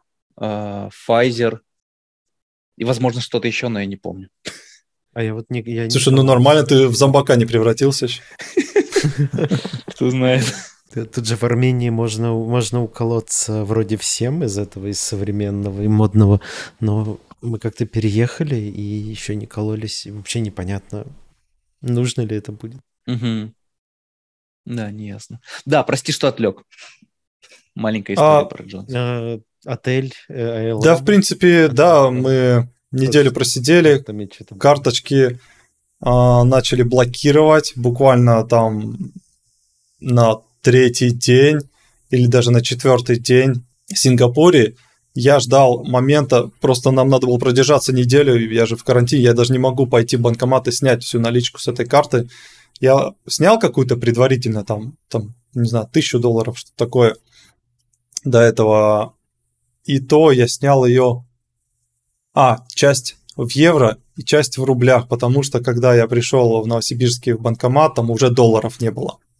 Я не смог даже в долларах снять.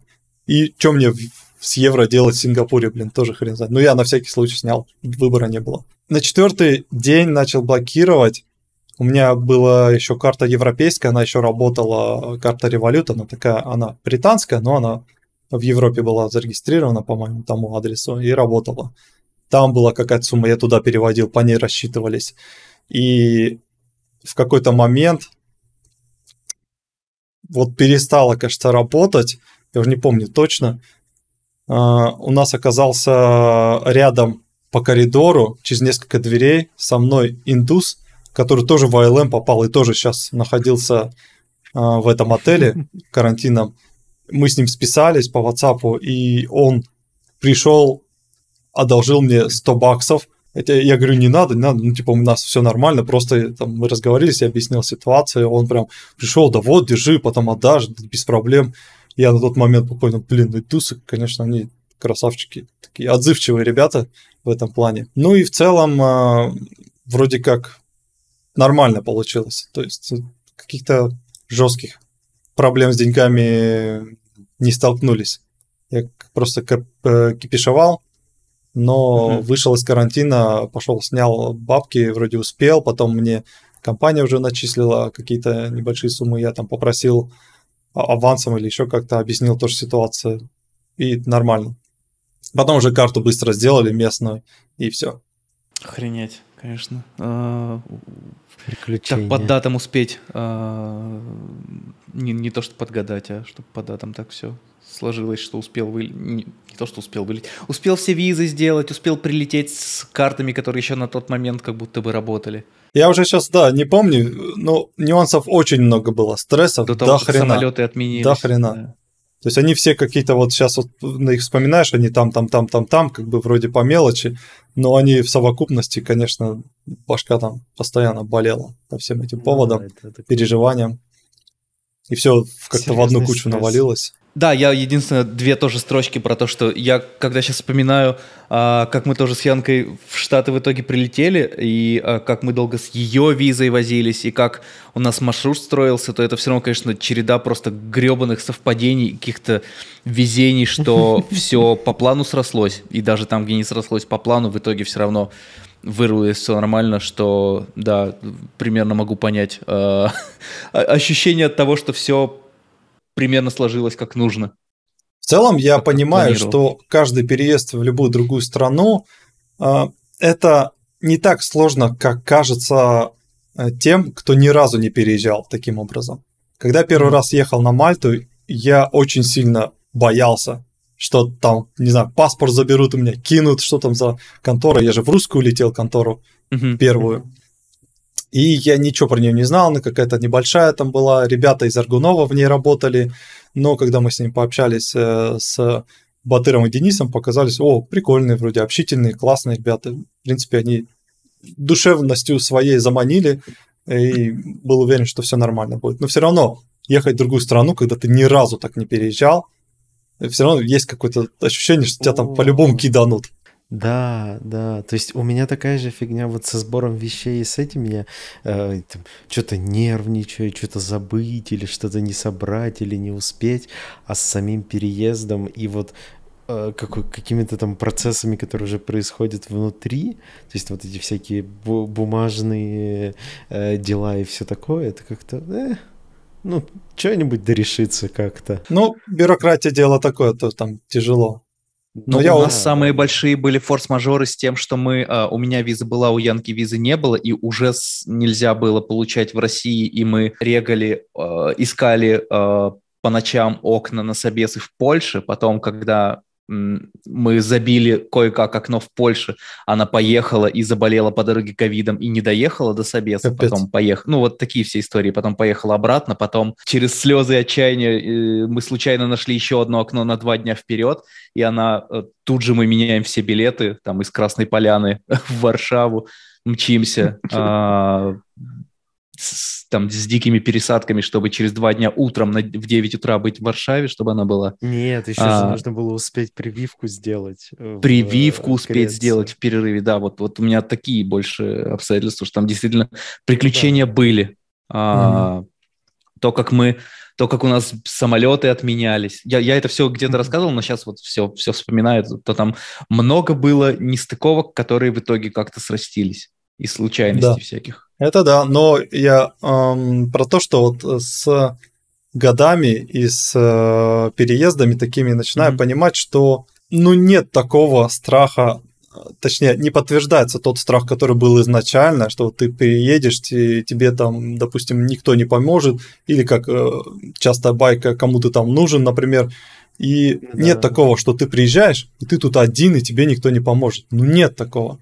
Всегда ты приезжаешь, всегда э, все люди, они все отзывчивые, всегда готовы помочь э, в любой ситуации, что у тебя там происходит, там с деньгами, mm-hmm. с бюрократией, с поиском квартиры, там с чем угодно. Ну, на улице бомжом ты не станешь, это точно. Если mm-hmm. ты совсем там, я не знаю, там что, что может случиться такого, чтобы ты там прям бомжевал, у тебя паспорт забрали. Совсем в, в себя верить перестать должен. Это, это, это тяжело, это, это даже надо постараться, мне кажется, если так сделать. Ну да. А так в целом все... Я вот на Мальту переехал, э, я пожил первые две недели у супервайзера, пока нашел квартиру. Он там кровать предоставил, пожил, нашел квартиру, переехал. Потом семью позвал, все приехали, начали жить как-то. Зарплата была там две 2100, кажется, первый год на 2100 евро. Снимали Месяц. квартиру за... Mm-hmm. Да, снимали квартиру за 700... 750, что ли. Потом у нас дочка родилась через, через год или через полгода. Через год. Mm-hmm. На эту зарплату капец, как тяжело было жить. Но как-то ну, да. Просто надо понять, что в любом случае, переезжая в другую страну, придется немножко пострадать. Не так сильно, как все думают, но чуть-чуть вот свои потребности надо немножко загасить. И мы там где-то экономили, там особо там не ездили никуда, как-то жили-жили. Потом на второй год, второй контракт уже там, повышаешь зарплату, на третий год переходишь в другую студию, еще повышаешь зарплату, еще больше, еще больше. Мы сняли уже другую квартиру, следующую, уже, уже нормальную сняли, большую, там, в два бедрум, с ваннами, там, уже с отделкой качественную, там, красивую, угу. со своим этим ярдом, двориком маленьким. Уже, уже кайфово начали жить, и уже ни в чем не отказывали, можно сказать, на третий год себе. То есть потерпеть, ну, 2-3 года придется, да. Но не так, что ты там будешь, я не знаю, там на улице жить. Такого тоже нет. Ну да, и всю жизнь страдать. А, Ладно, полгода позади. Про, еще, про самое интересное. Давайте наконец-то к самому интересному. Сингапур. Вот как ты говорил где-то не, э, где-то в, в разговоре ты говорил, что ты увидел в Орле и Решке Сингапур и подумал, что о, это вот страна мечты, где хочется пожить. Так я у тебя в Инстаграме увидел Сингапур и понял, что, блин, я хочу пожить когда-нибудь в стране, где есть цивилизация. Типа, ну, Итак, я открыл картинки хороший. Сингапура. Блять, Восемь, спасибо, что ты нихуя не перебил меня. Прости, пожалуйста, очень красивые картинки, но я тебя слушаю. Прости, Саш. И можно ходить все время в шортах. Ну, типа, условно ходить все время в шортах, я говорю сейчас. А, типа, что это не какая-то, знаешь, не там э, Таиланд, где джунгли, не Вьетнам, где только вот такой вот пляжи и все такое, а где развитый город и где хорошая погода. Вот, и как будто бы это звучит достаточно привлекательно. Ну и по картинкам выглядит. Расскажи, как это в жизни. Картинки охренеть какие красивые.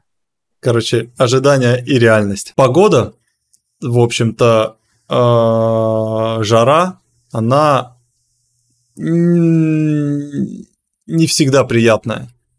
В том плане, что когда она стоит всегда такая вот влажная и жаркая, это в какие-то моменты, это, естественно, это индивидуально, субъективно, э, возможно, кому-то нравится, но я через несколько месяцев стал скучать по свежему воздуху, э, по-любому, не то что сибирскому, но по-любому российскому свежему воздуху, сухому, вот этому, с mm-hmm. запахом зелени деревьев.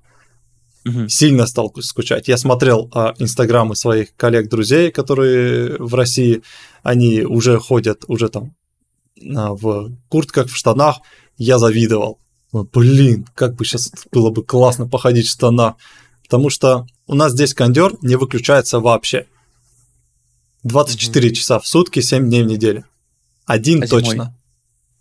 Зимой? Тут нет зимы. Ну там, там нет зимы. То же самое. Вся погода, вот для понимания, а, кто, кто не в курсе, да, 29, 30, 31 днем ровно весь год. Ровно. Вообще, она меняется на 1-2 градуса. Иногда. То есть, и прикол в том, что прожив здесь сколько мы уже, без 7 месяцев, мы начали, блядь, чувствовать разницу в 2 градуса. Разницу вот эту температуру. Реально, это, Ой, это маразм. Да, да. Я выхожу, если на улице 27, не 29. Я такой, о, прикол, классно, погода прохладненькая такая. А если 26, я думаю, блин, может рубашечку одеть? Настолько это начинает ощущаться.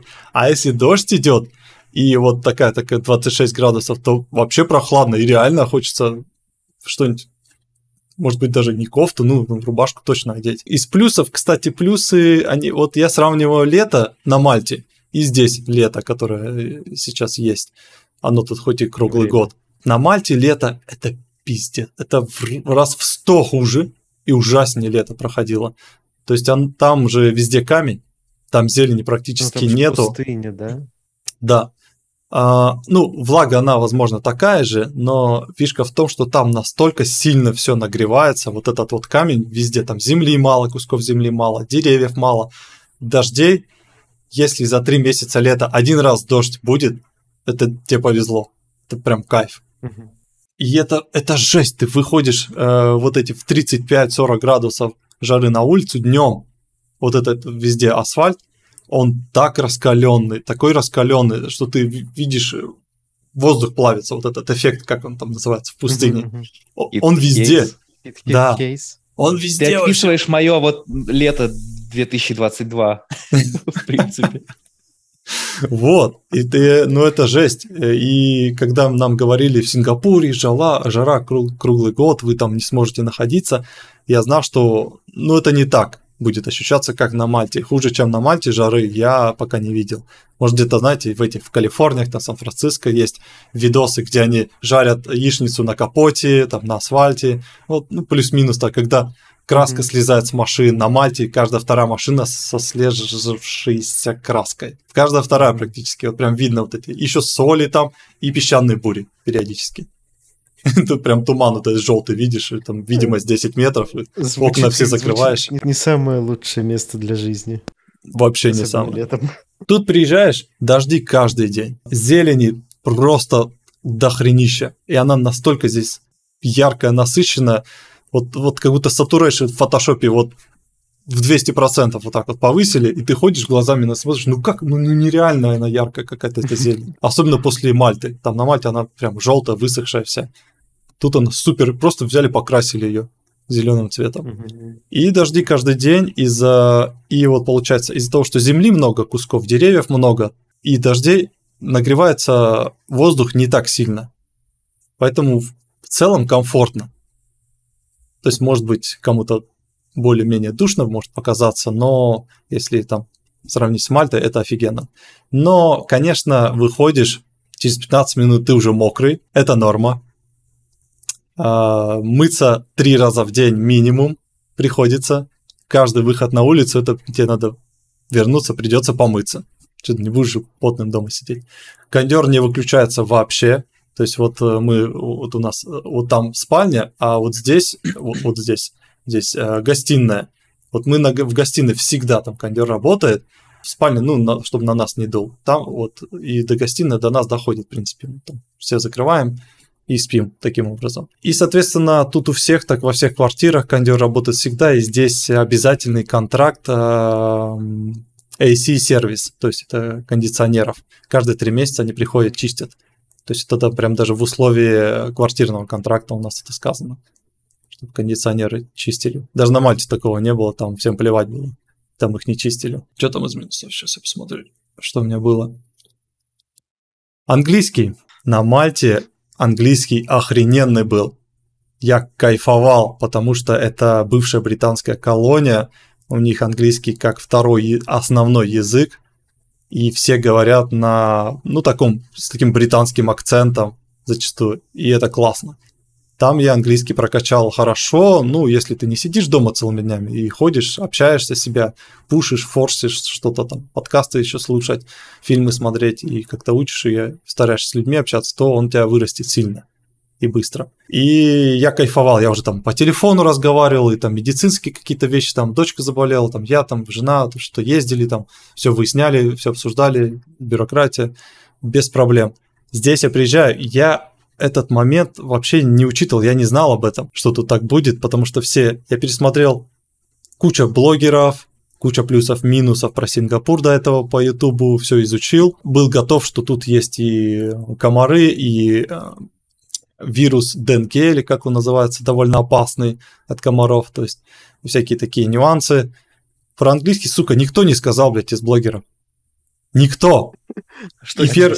и первое, что я обратил внимание, я сажусь в такси из аэропорта, когда мы сели, нас везли в отель трансфером. Я попытался поговорить на веселее, знаешь, ты же, когда приезжаешь в новую страну, так классно, весело, ты энтузиазм у тебя зашкаливает, со всеми общаешься. Когда он рот открыл, я ни хера не понял, что он мне сказал. Вообще. Может быть, одно слово из всех, что он сказал, может быть, понял потому что они говорят с таким сильным китайским акцентом. Им настолько насрать на свой акцент, что ну, это невозможно. Я до сих Но пор они я тебя понимают. понимаю. Тоже не всегда, в том-то и проблема. А, так, а подожди, а в городе в целом там все на английском или на каком языке? Ну, типа вывески, вот это все. Это на ну, на да, да, да, английский тут он э, практически везде, он тут есть. Но проблема в том, что в каких-то магазинах, заведениях, больницах, сервисах там э, работают, я не знаю, сейчас в процентном соотношении попробую, может быть, процентов, создается ощущение, что процентов 60, может быть, э, всех людей здесь плохо говорят на английском. Вот как-то вот я там в парикмахерскую придешь, в больницу придешь, э, ну, особенно я уже даже не говорю в это traditional Chinese medicine, вот есть, которые там акупунктура, массажи там. Я как-то О. зашел туда, мне там с шеей проблемы были, думал, сейчас что-нибудь мне тут помогут, китайская традиционная медицина. Блять, я так пожалел здесь. Я, э, меня, я уже на ресепшене, там, понятно, девчонка на ресепшене, она там со своим кривым английским, мы там еле-еле на пальцах друг друга поняли, что я хочу. Ну, думаю, ну окей, ну это ресепшн. Ну, врач-то должен говорить на английском. Хрен. С врачом сели в комнатку, то же самое. Я сидел блядь, с переводчиком, объяснял, в чем у меня проблема. Да это жесть, ну это, это вообще... Короче, и все таксисты, практически все таксисты с таким синглишем, а, английский с э, китайским акцентом, это, ну как сказать, это очень быстро они говорят. С таким, я не знаю, ну, ну как будто он на китайском говорит, но, но английские слова. Короче, ни хрена непонятно. Были даже два момента, когда мы вызываем такси, ну, где-то мы-то в парке гуляем далеко от дома. Он приезжает не туда, где я точку поставил, а я еще не знал, как тут э, работает. Тут всегда надо определенные там точки ставить, они какие-то есть. Тут везде парковки, везде подъезды есть ко всем торговым центрам, ко всем паркам. Тут так, mm-hmm. они на дороге не встают никогда, вообще нельзя им штрафы дикие. Это не как мы там в России там вызвал. А, давай вот, вот здесь, да, вот здесь он приехал, все. Ни хрена. Им так нельзя, я не знал. Ну, в, в Армении такси может остановиться просто где угодно. Вообще, вот любое место ты укажешь, он там остановится. Четвертый да. этаж. Да, да, да, да, да. Вторая комната слева. Да, и, и, короче, звонит мне, пытается объяснить, где он находится, я пытаюсь объяснить, где я нахожусь по телефону, мы ни хрена друг друга не понимаем, это длится минут 15, затем он просто бросает трубку и отменяет заказ. Так было два раза. Вот, вот примерно такие у меня. Я просто, ну, я расстроился. Для меня, потому что английский это все-таки один из основных показателей страны, куда переехать. Я его хотел прокачивать, мне он, ну, как язык нравится, хочется как-то э, импровить этот скилл.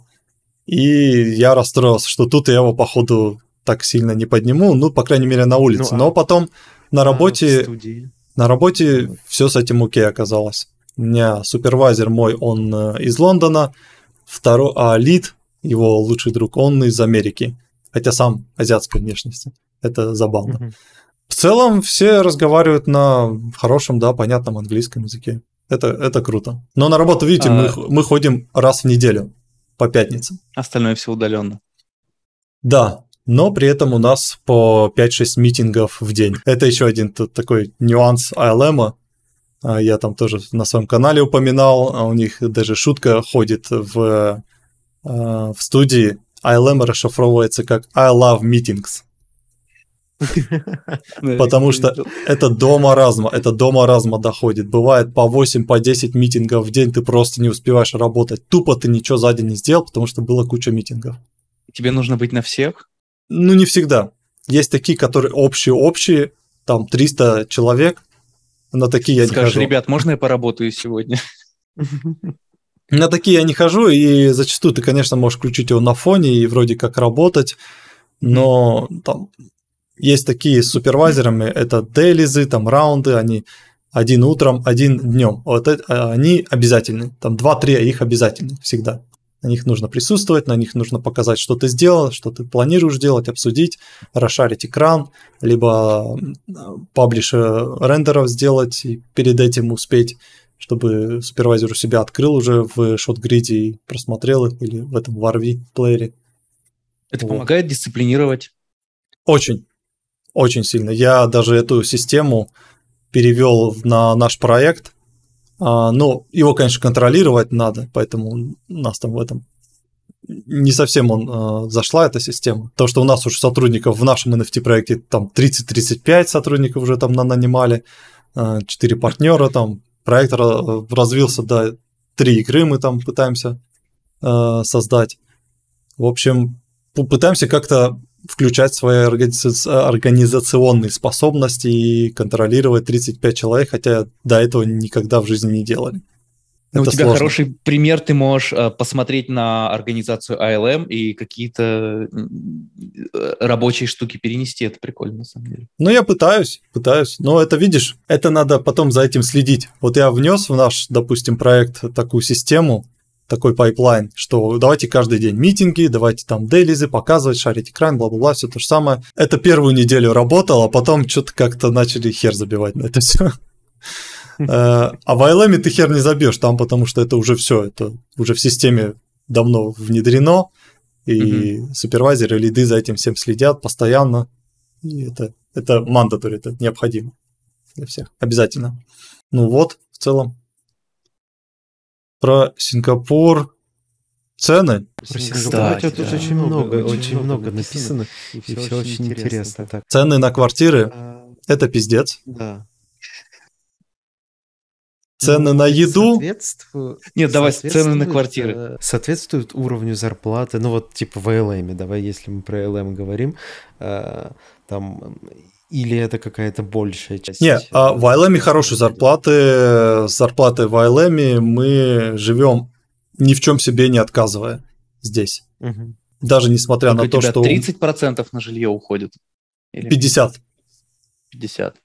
Да. Ну, Несмотря на то, что у меня есть э, как бы доход с нашего проекта, я оттуда вообще нисколько не трачу. Угу. Я боялся, что я буду с этого, с нашего проекта брать какие-то суммы, тратить. Нет, спокойно живу здесь на зарплату, и нет такого, что она там в конце месяца, она там прям впритык или закончилась, или там мы там пытаемся там как-то экономить. Вообще нет. Все, покупаешь mm-hmm. там кучу всякого дерьма с Амазона, поназаказывал, в рестораны ходим, куда-то ездим, что-то делаем, на такси часто ездим. То есть это как-то вполне. А ну, так ц- цены... Квартиры в целом там... Мы за квартиру платим 4 800 сингапурских долларов. Сингапурских долларов. Да, он 40 рублей. Ну, это, это 200 тысяч, говорил... получается, примерно. Это, two, two bedroom или как? как, как да, это два бедрумная с гостиной 96, что ли, квадратных метров, третий этаж. Но цена, в принципе, она... Ну, она, она все равно в целом по всему Сингапуру, она, конечно, завышена. Mm-hmm. И мы еще снимаем в кондо.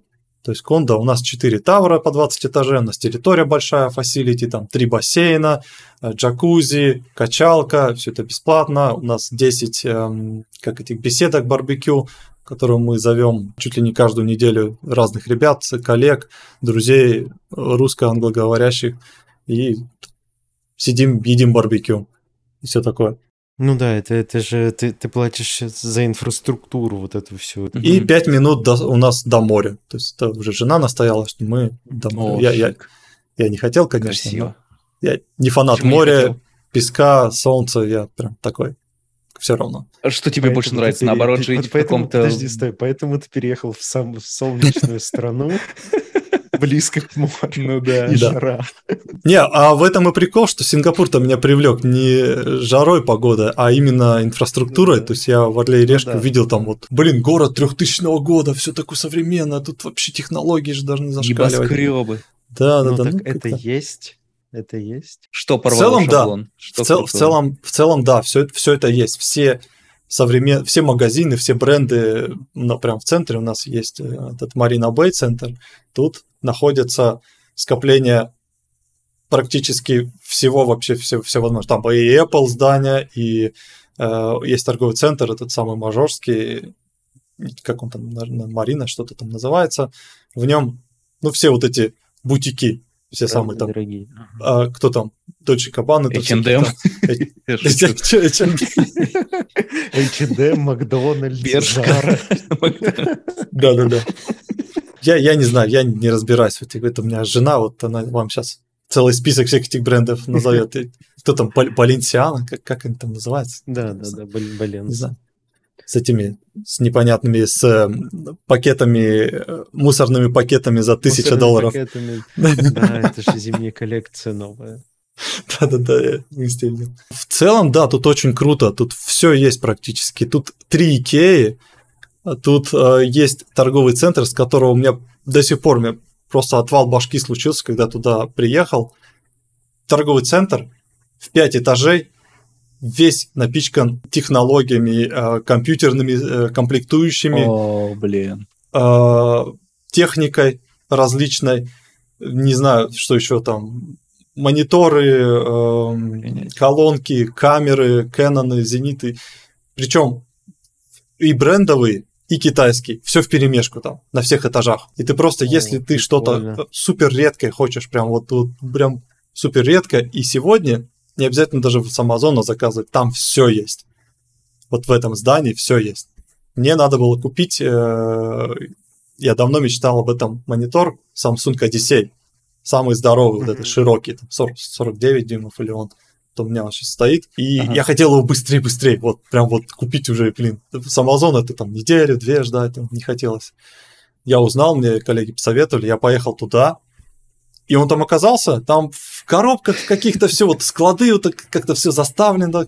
Мне там продавщица подвела, ну там на, на, на четвертый этаж, все прошел вот эти этажи. Причем там есть официальный Samsung магазин, даже в нем его не было. Был выставочный образец, но на складе его не было. Мне, мне кто посоветовал, продавец говорит, иди, вот сходи вон туда, там какие-то склады китайские, там что-то, у них спроси. Иду туда, там действительно все так вот наставлено, наставлено, и мне сказали, а, вот, вот эта коробочка, вот он, там коробка выше меня ростом такая, это вот ваш монитор.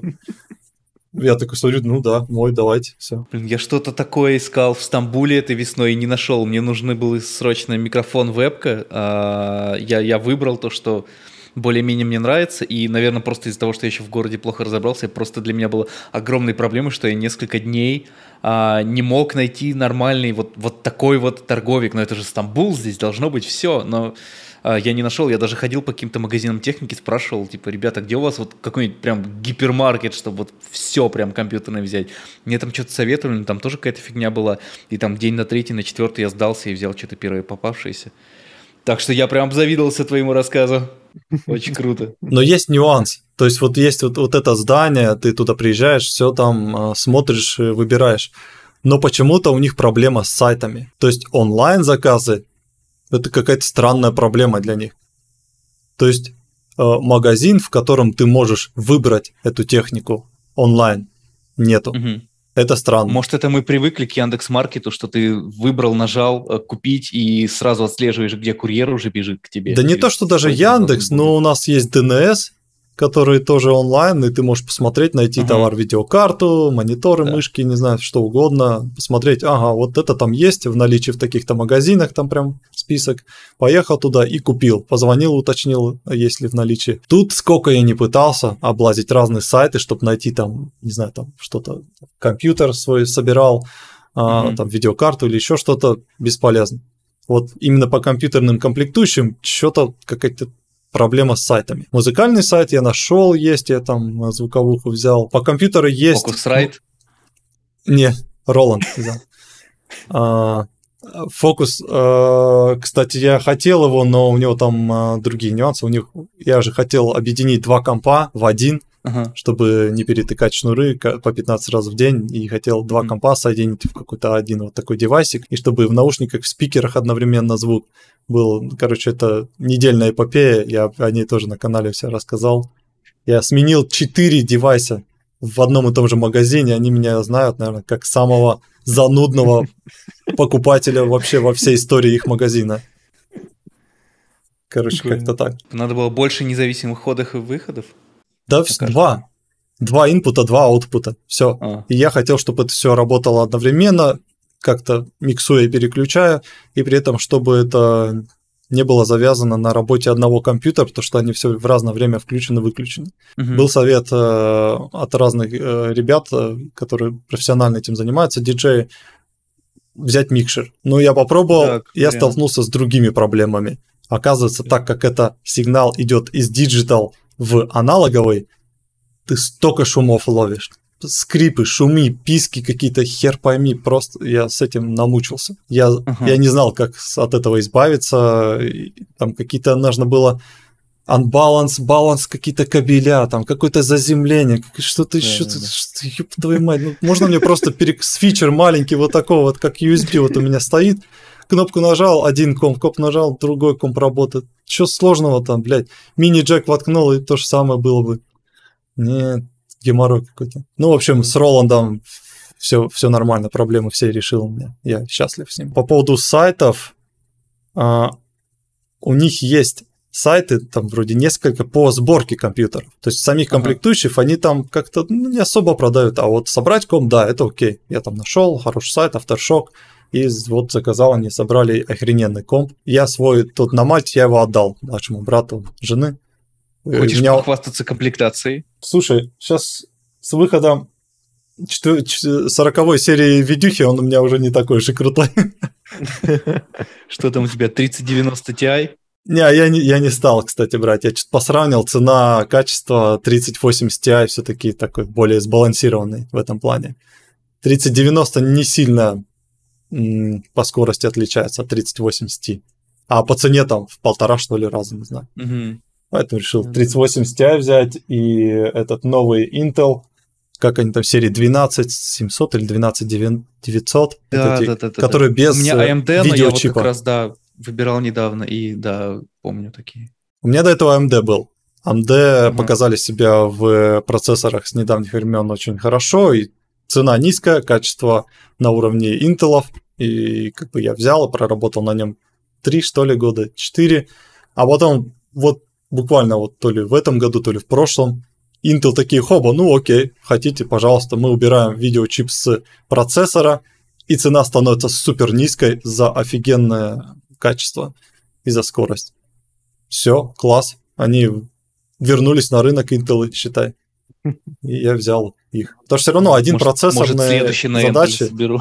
Да, однопроцессорные задачи у Intel, они все равно такие пошустрее будут работать, а в винте мало программ, которые работают многоядерными задачами. Так что AMD себя прояв... проявляет только вот, ну там, в рендере, где действительно многоядерность используется, AMD, да, там выстреливает без проблем. А, мне интересно послушать, мы ушли от темы квартиры, у тебя там какой-то очень интересный пункт был про то, что выселить тебя хотели.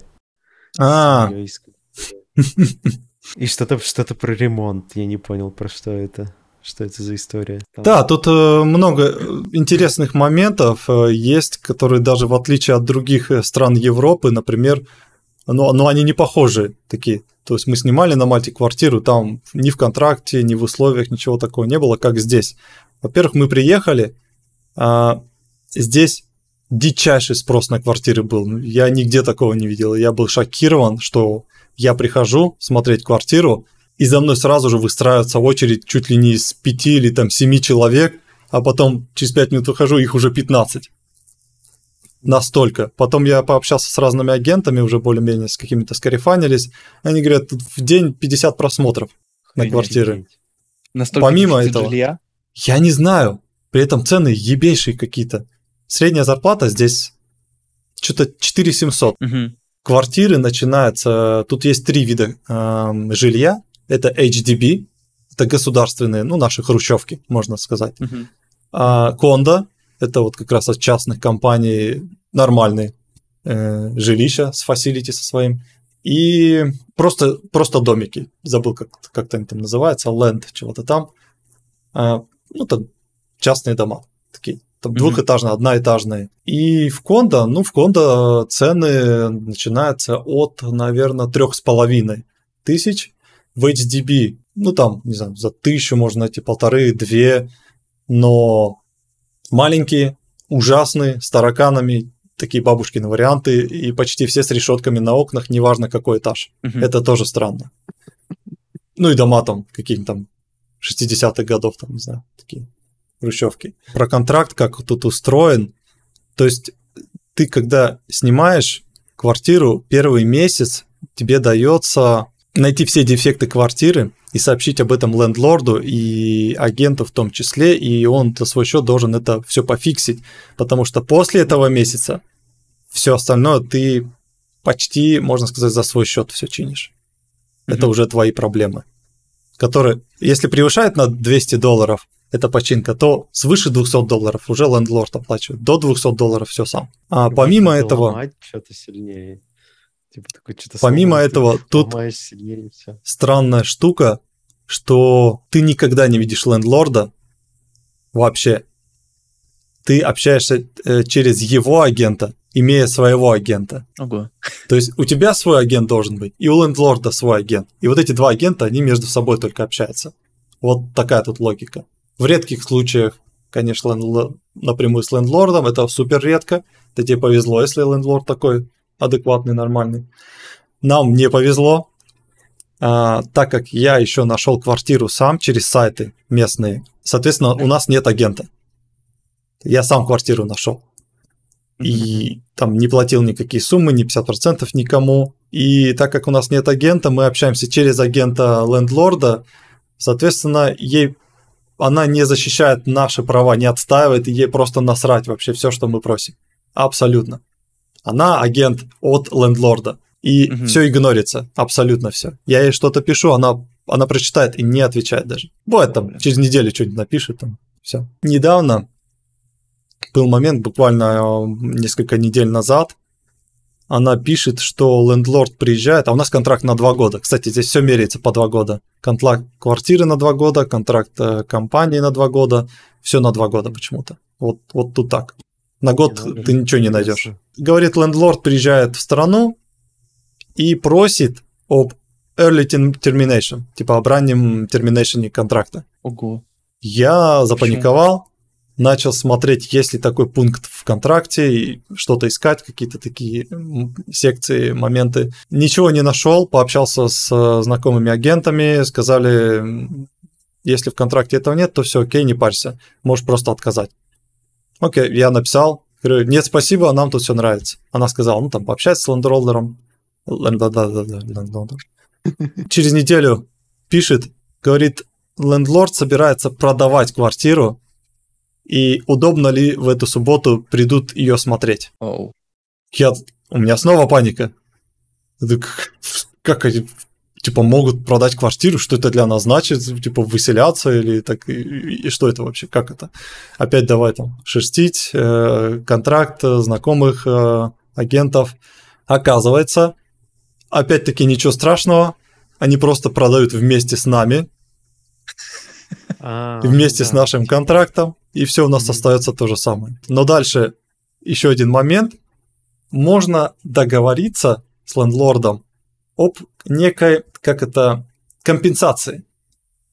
Что типа мы можем съехать, если вы оплатите там, допустим, разницу сейчас в стоимости, сейчас цены опять поднялись, уже наша квартира, вот, допустим, ну, условно 5, там, 4 800, она же уже стоит 6 и уже без мебели.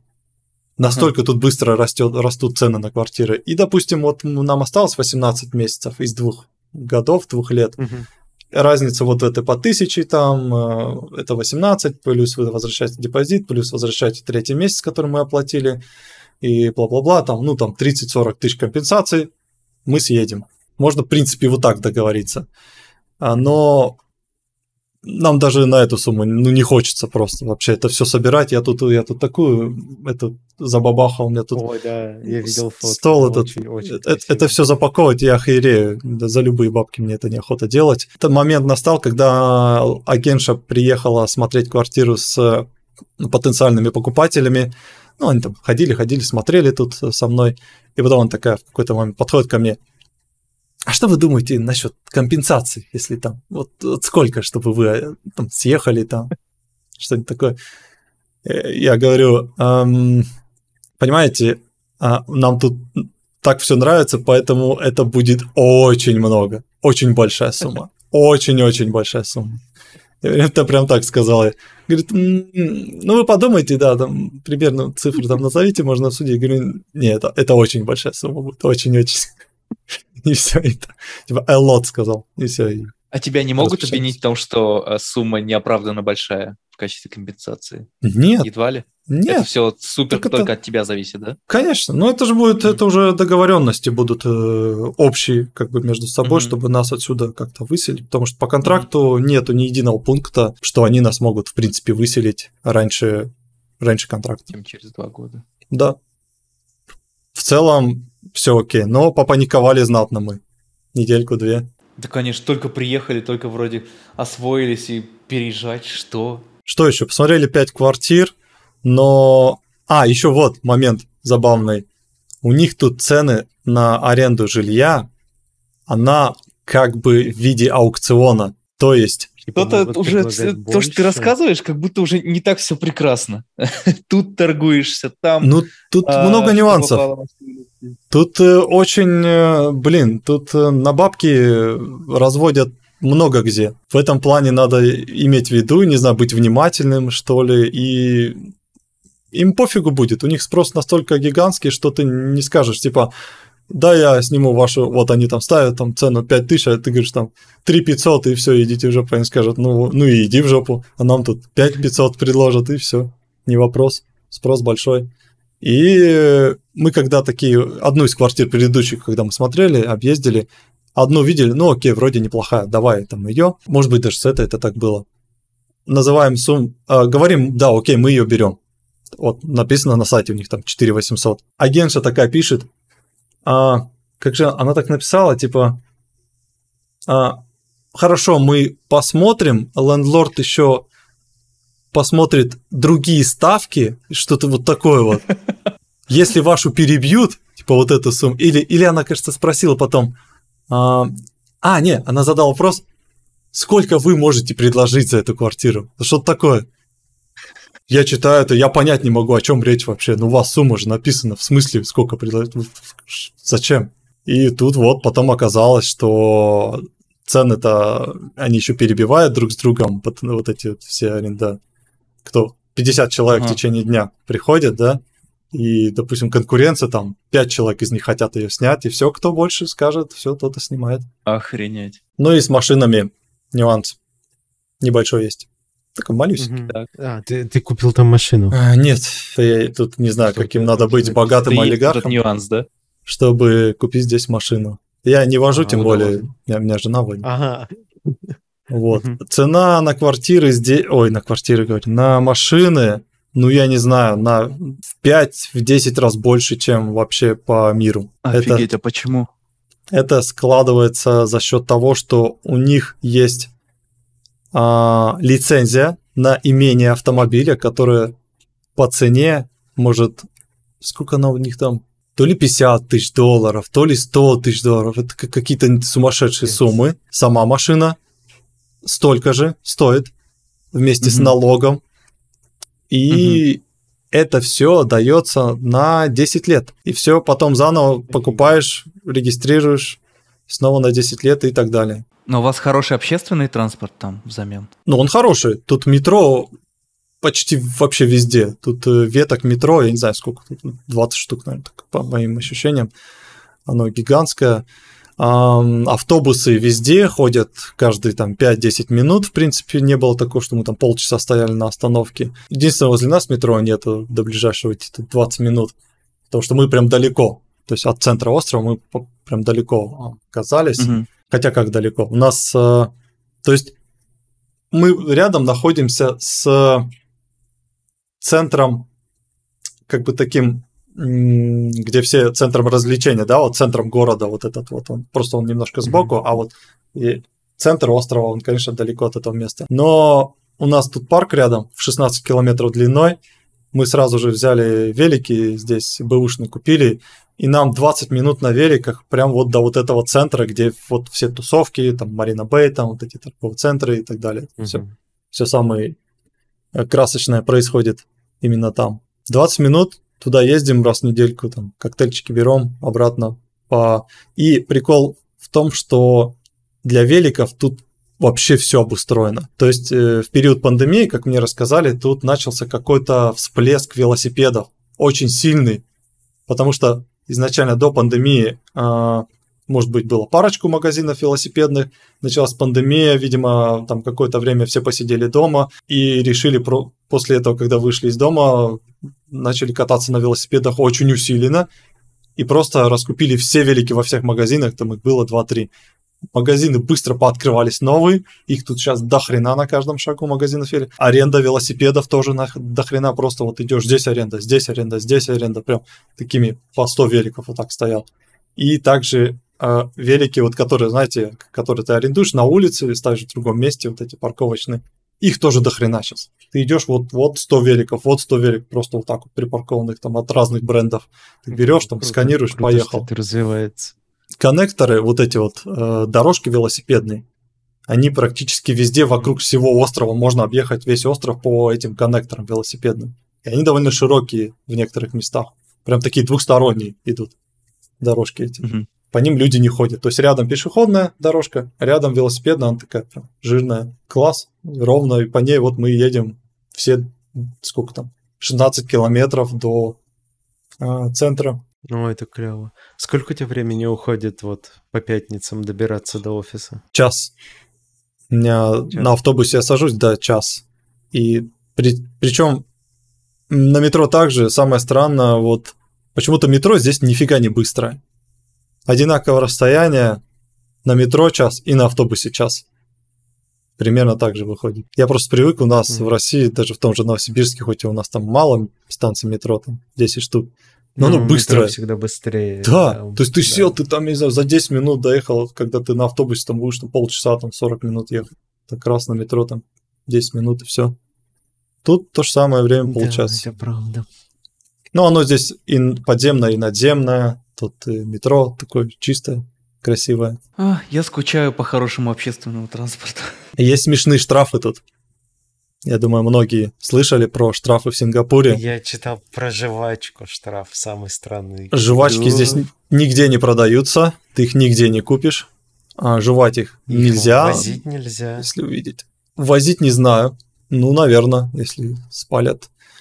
А, что еще? Ну, курить на улице нельзя, причем палят тебя э, не так, что полиции здесь не видно. Она не входит mm-hmm. в формах, ее вообще нету. Я не знаю, мне кажется, я ни разу не видел за эти полгода. Она тут вся в гражданском. И вот у нас знакомая русская была, курила на улице, э, с кем-то общалась, э, докурила сигарету, и рядом стоял мужик все это время, просто левый мужик, ждал, пока она докурит сигарету, потом к ней подходит, представляется полицейским, показывает там, что там, документы, выписывает ей штраф на 300 долларов за курение в неположенном месте. И все. Как-то так. Ну, наверное, для курящих людей это больно.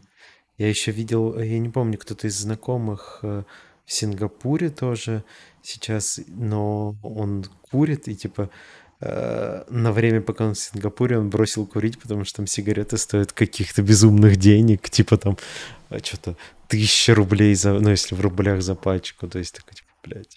Вейп тут случае? тоже, кстати, запрещен. Мы когда с Киром э, год назад летали в Нью-Йорк, э, я сначала думал, он в шутку говорит, что взял с собой блок сигарет. Но оказалось, он и вправду взял с собой блок сигарет э, из России, чтобы тут не покупать, потому что здесь сигареты очень дорогие. Да мне кажется, они везде дорогие. И в России-то цены подняли на сигарет тоже не особо-то дешевые. Уже давно как. Тут, а тут и подавно, тут они еще дороже. Совсем не в курсе что там происходит в мире курения. Ну, у меня не просто... Курю. Меня, не знаю, да, у меня друзья, друзья, да, у меня курят некоторые, и мы Помню, в России даже подходили киоски, и я даже видел, что цены нормально так прилично поднимали. За год, за два, очень быстро цены росли. Ну да, там что-то типа 200 сейчас, наверное, рублей стоит пачка. Я вообще не... И на Мальте даже цены подняли настолько, что сигареты, ну, почти никто не курит. Тут мои коллеги на Мальте, половина из них курящие, они покупали вот эти, которые крутить надо сигареты. Это дешевле выходило. Да. Да, да, да. То есть вот эти сами бумажки, с которых крутить, mm табак отдельно брали и сидели вот так вот там каждый сколько там по 10 раз в день вот эту вот херню. А что делать? Так дешевле. Кто-то купил Можно даже выращивать там еще маленькую плантацию машинку. Да, да, да. Есть смешные штрафы типа сладкую воду нельзя в метро пить. А Почему? Голым. Как, как это? Дома голым ходить нельзя. Тоже штраф получишь. Потому что тебя кто-то увидеть может из окна? Да, да. Я из-за а этого не хотел в Сингапур ехать.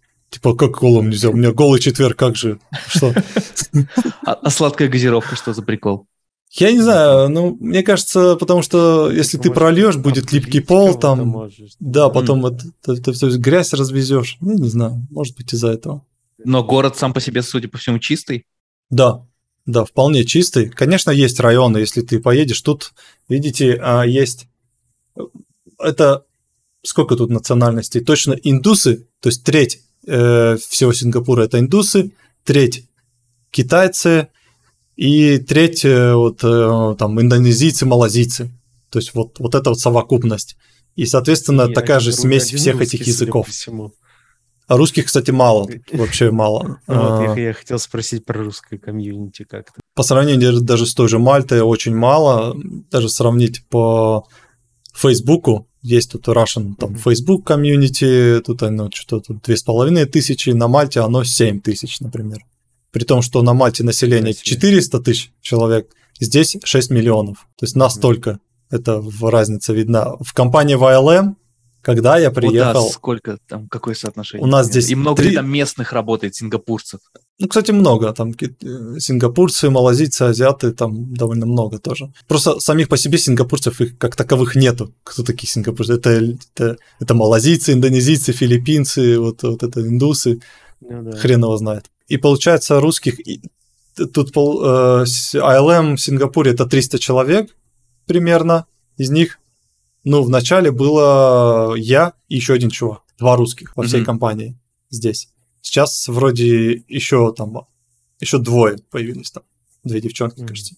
Что еще? А, и то, что здесь находится, получается, три или четыре национальности, как бы основные, соответственно, Сингапур, вот это очень странно, да, что у Сингапура, оно же отдельное государство и отдельная страна, отдельный город, сам по себе и город, и страна, что как бы прям вот таких вот коренных сингапурцев их нету. Понятно, что есть люди, которые здесь рождены, там вот они как будто бы сингапурцы, но все равно у них там родители там где-то китайцы, там еще кто-то малазийцы. Угу. А, и сингапурского языка тоже нету как такового, потому что есть там китайский, там японский, корейский, все равно вот это разделение. А страна-то это другая, отдельная. И тут Я понял, тут что мне надо посмотреть видяшки смесь. про Сингапур, как он появился. Да, Там история... Не задавать глупые вопросы. Уникальная история у них, как они возникли, конечно. Я сам не вдавался пока в подробности, просто что они тоже, как и Дубай, за какие-то там в короткий промежуток очень быстро разрослись до такого состояния. Как твоя жажда переездов, она полностью удовлетворена? Где ты видишь себя лет через пять? Ты хочешь еще куда-то переехать в перспективе? Или ты нашел вот место, где хочешь э, состариться и закопаться потом? Сложный вопрос. А, изначально до этого я себя видел где-то в Европе. Мне нравятся страны Европы в плане климата, в плане путешествий, например, между странами на машину сел, такой через два часа ты через час в другой стране, и угу как-то там можно и состариться, уютно, кайфово, классно. Ну да. В Риге был, в Латвии меня сильно зацепила атмосфера Риги. Понятно, что там нет ни технологий, то есть не, не для сейчас, а вот для какого-то пожилого возраста Рига офигенная была бы, например. Мгм. А для сейчас, ну, я Если не знаю, там, бы- как- если бы ты был не русским. и это Сейчас тоже. особенно. Вот. И после вот этих событий, сейчас, которые происходят, Европа уже, конечно, пока что не очень. И, может быть, со временем все там вернется на место. Но сейчас, да. И сейчас я, у меня Ну как таковых супер планов нету. Пока хочу ну, пожить здесь два года и посмотреть, как что в какую сторону жизнь меня подбросит опять. Мгм. Потому что здесь э, в ILM настолько все комфортно, что, скорее всего, возможно, я в ILM перепрыгну в геймдев, у них есть свой геймдев разрабатывается, у меня много игр сделали, потому что я давно планировал про геймдев. И, например, в Австралии, в их офис переместиться, там Мгм, еще там пожить какое-то время. Но это так на стадии идеи. Только один период закончился недавно. У них очень, кстати, грамотно, я в шоке был, как у них проходит а, метание вот между позициями. То есть ты хочешь в другой отдел попробоваться Мгм. без проблем, тебя просто туда перекидывают с проекта на проект в какой-то вот в геймдев. Я предложил своему а, менеджеру, HR, с- продюсеру, там, кто там, все подряд. Хочу попробовать там у них Unity. Сказал, без проблем. Я спросил, как это происходит. Надо контракт менять, переподписывать, менять позицию, другая зарплата. Говорит, нет, нифига ничего не надо. Просто тебя как бы тот отдел тебя а, в долг берет на несколько месяцев или на 6 Мгм. месяцев, это может быть. Работаешь, смотришь, нравится, не нравится, и решаешь там, остаешься ты там или возвращаешься в киноотдел обратно. Все, Мгм. супер удобно. Прикольно. Если остаешься там, решаешь, то тогда уже меняется контракт, перманентный какой-то делается, зарплату там рассматривают, позицию меняют. А так можешь просто прыгать, так смотреть, искать, А- экспериментировать. А Это между круто. ставками э, внутри ILM э, геймдевные ставки больше, чем э, VFX-ные, киношные, или, или более-менее сбалансировано? Слушай, вот это я не знаю. Всем спасибо, интересно что позвали. Спасибо, Спасибо что большое, позвали. что забежал. Надеемся, мы не слишком резко завершаем, но, но по-моему, по-моему, Мы- истории были очень не, мы крутые, можем- длинные и мы можем потрясающие. Мы можем поговорить Да. еще раз просто. Чтобы все О, сходили как вариант. пописали. Ну, потом, когда-нибудь Да, на да, да, следующей да. неделе. Я не против. Зовите, ребят, я только за. Круто, круто. спасибо тебе большое. Пока. Было Пока, очень до интересно. скорого. Вообще. Пока-пока. Пока-пока.